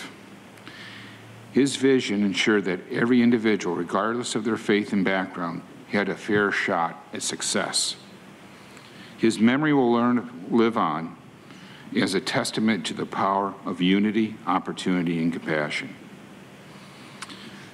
Sadly, this most recent terrorist attack uh, in Israel has become a modern day Holocaust. Only the Holocaust murdered more Jews in modern time, in fact, in the history of time. And Madam Chair, I don't know if it's appropriate or not, but if it's possible for us to end in a moment of silence for those who suffered through this modern Holocaust, their families and their friends, uh, I'd like to do that. I don't know if that's appropriate or not, but I'd like to request it. Sure, absolutely. Thank you. Um, And so I am going to be presenting two adjournments um, in memory of Jose Leandro Chavarria Soto and Blanca Yadira Mercedes Vasquez Lobio. Um, Jose Leandro Chavarria Soto was born on August 25th, 1939 in Las Cruces, Chihuahua, Mexico. He was born to Soledad Soto and Anciento Chavarria. He was a noble human being as a child, adolescent, young man, and as an adult and as a senior citizen. As a child of working class family, his need to work to contribute financially to his family kept him from completing school. Since he was unable to attend school consistently, sadly, he would fail his coursework. At 11 years old, he began to work in a mechanic shop. He started by washing tools, running errands, and helping the mechanics. He soon learned to fix cars. A boy amongst men, he was able to earn money for his family. As a young man, he immigrated to Mexicali and then Los Angeles, California, where he met the love of his life, Yadilia, whom he married and with whom he fathered Fernando Chavarria, whose work in factories and mechanic shops all work at all works or hours of the day. Any shift he was asked to take, he took pride in his work and was committed to a stellar employee wherever he worked. In his community, he lent his talents to his neighbors and often fixed their cars for free, understanding that working people simply deserved a helping hand. He was also a servant leader in his church where he helped uplift members of community in his own quiet yet profoundly powerful ways. He led a life of, of beautiful love and dignity and taught his son by example what it meant to be a faithful and steadfast father and husband. He adored his family and his most precious gifts, his wife and son Fernando. The second adjournment is um, in honor of Blanca Yadilia Mercedes Vasquez Lobio, who was born on September 24th, 1933 in Sonora, Mexico. She was born to Maria Lobio, a homemaker, and Francisco Vasquez, a farmer. Idalia was spoiled by her parents as she was the baby of the family. She would pretend to be asleep or be sick while others tended to house chores. If she had to work, she convinced her parents to let her work outside where she could enjoy the air and nature. The relationship she had with her dad was very special. She encouraged, he encouraged her to study, secure private school and private tours. He supported her dreams of traveling throughout Mexico several times. She also, also learned English and poetry from her American teacher, Thomas Voistick, who, who her father hired to help her develop her skills. She proved to be a wonderful student, earned excellent grades, and she was incredibly smart.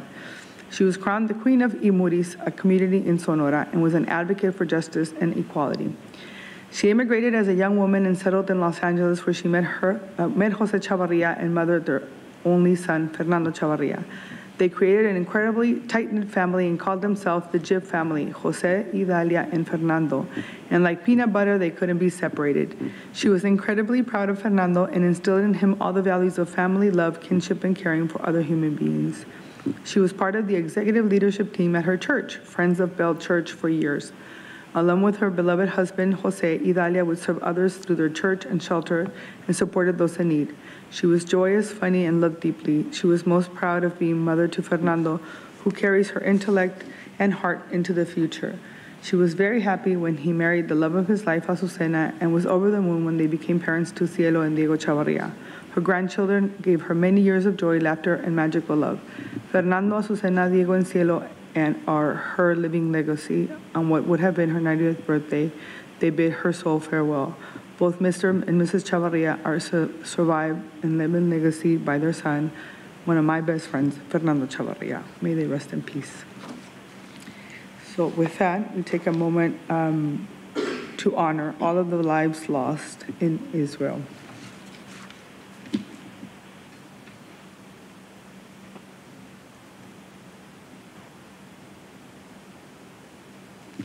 Thank you very much. So now, The board will now recess into closed session to consider those matters listed under item 15 on today's regular agenda. If there are any reportable actions, they will be reported out during the planning and land use session of this meeting tomorrow, Wednesday, October 11th, 2023. We'd like to know for the public that tomorrow's session will begin at 10 a.m. That's 10 a.m. on October 11th, 2023. Thank you.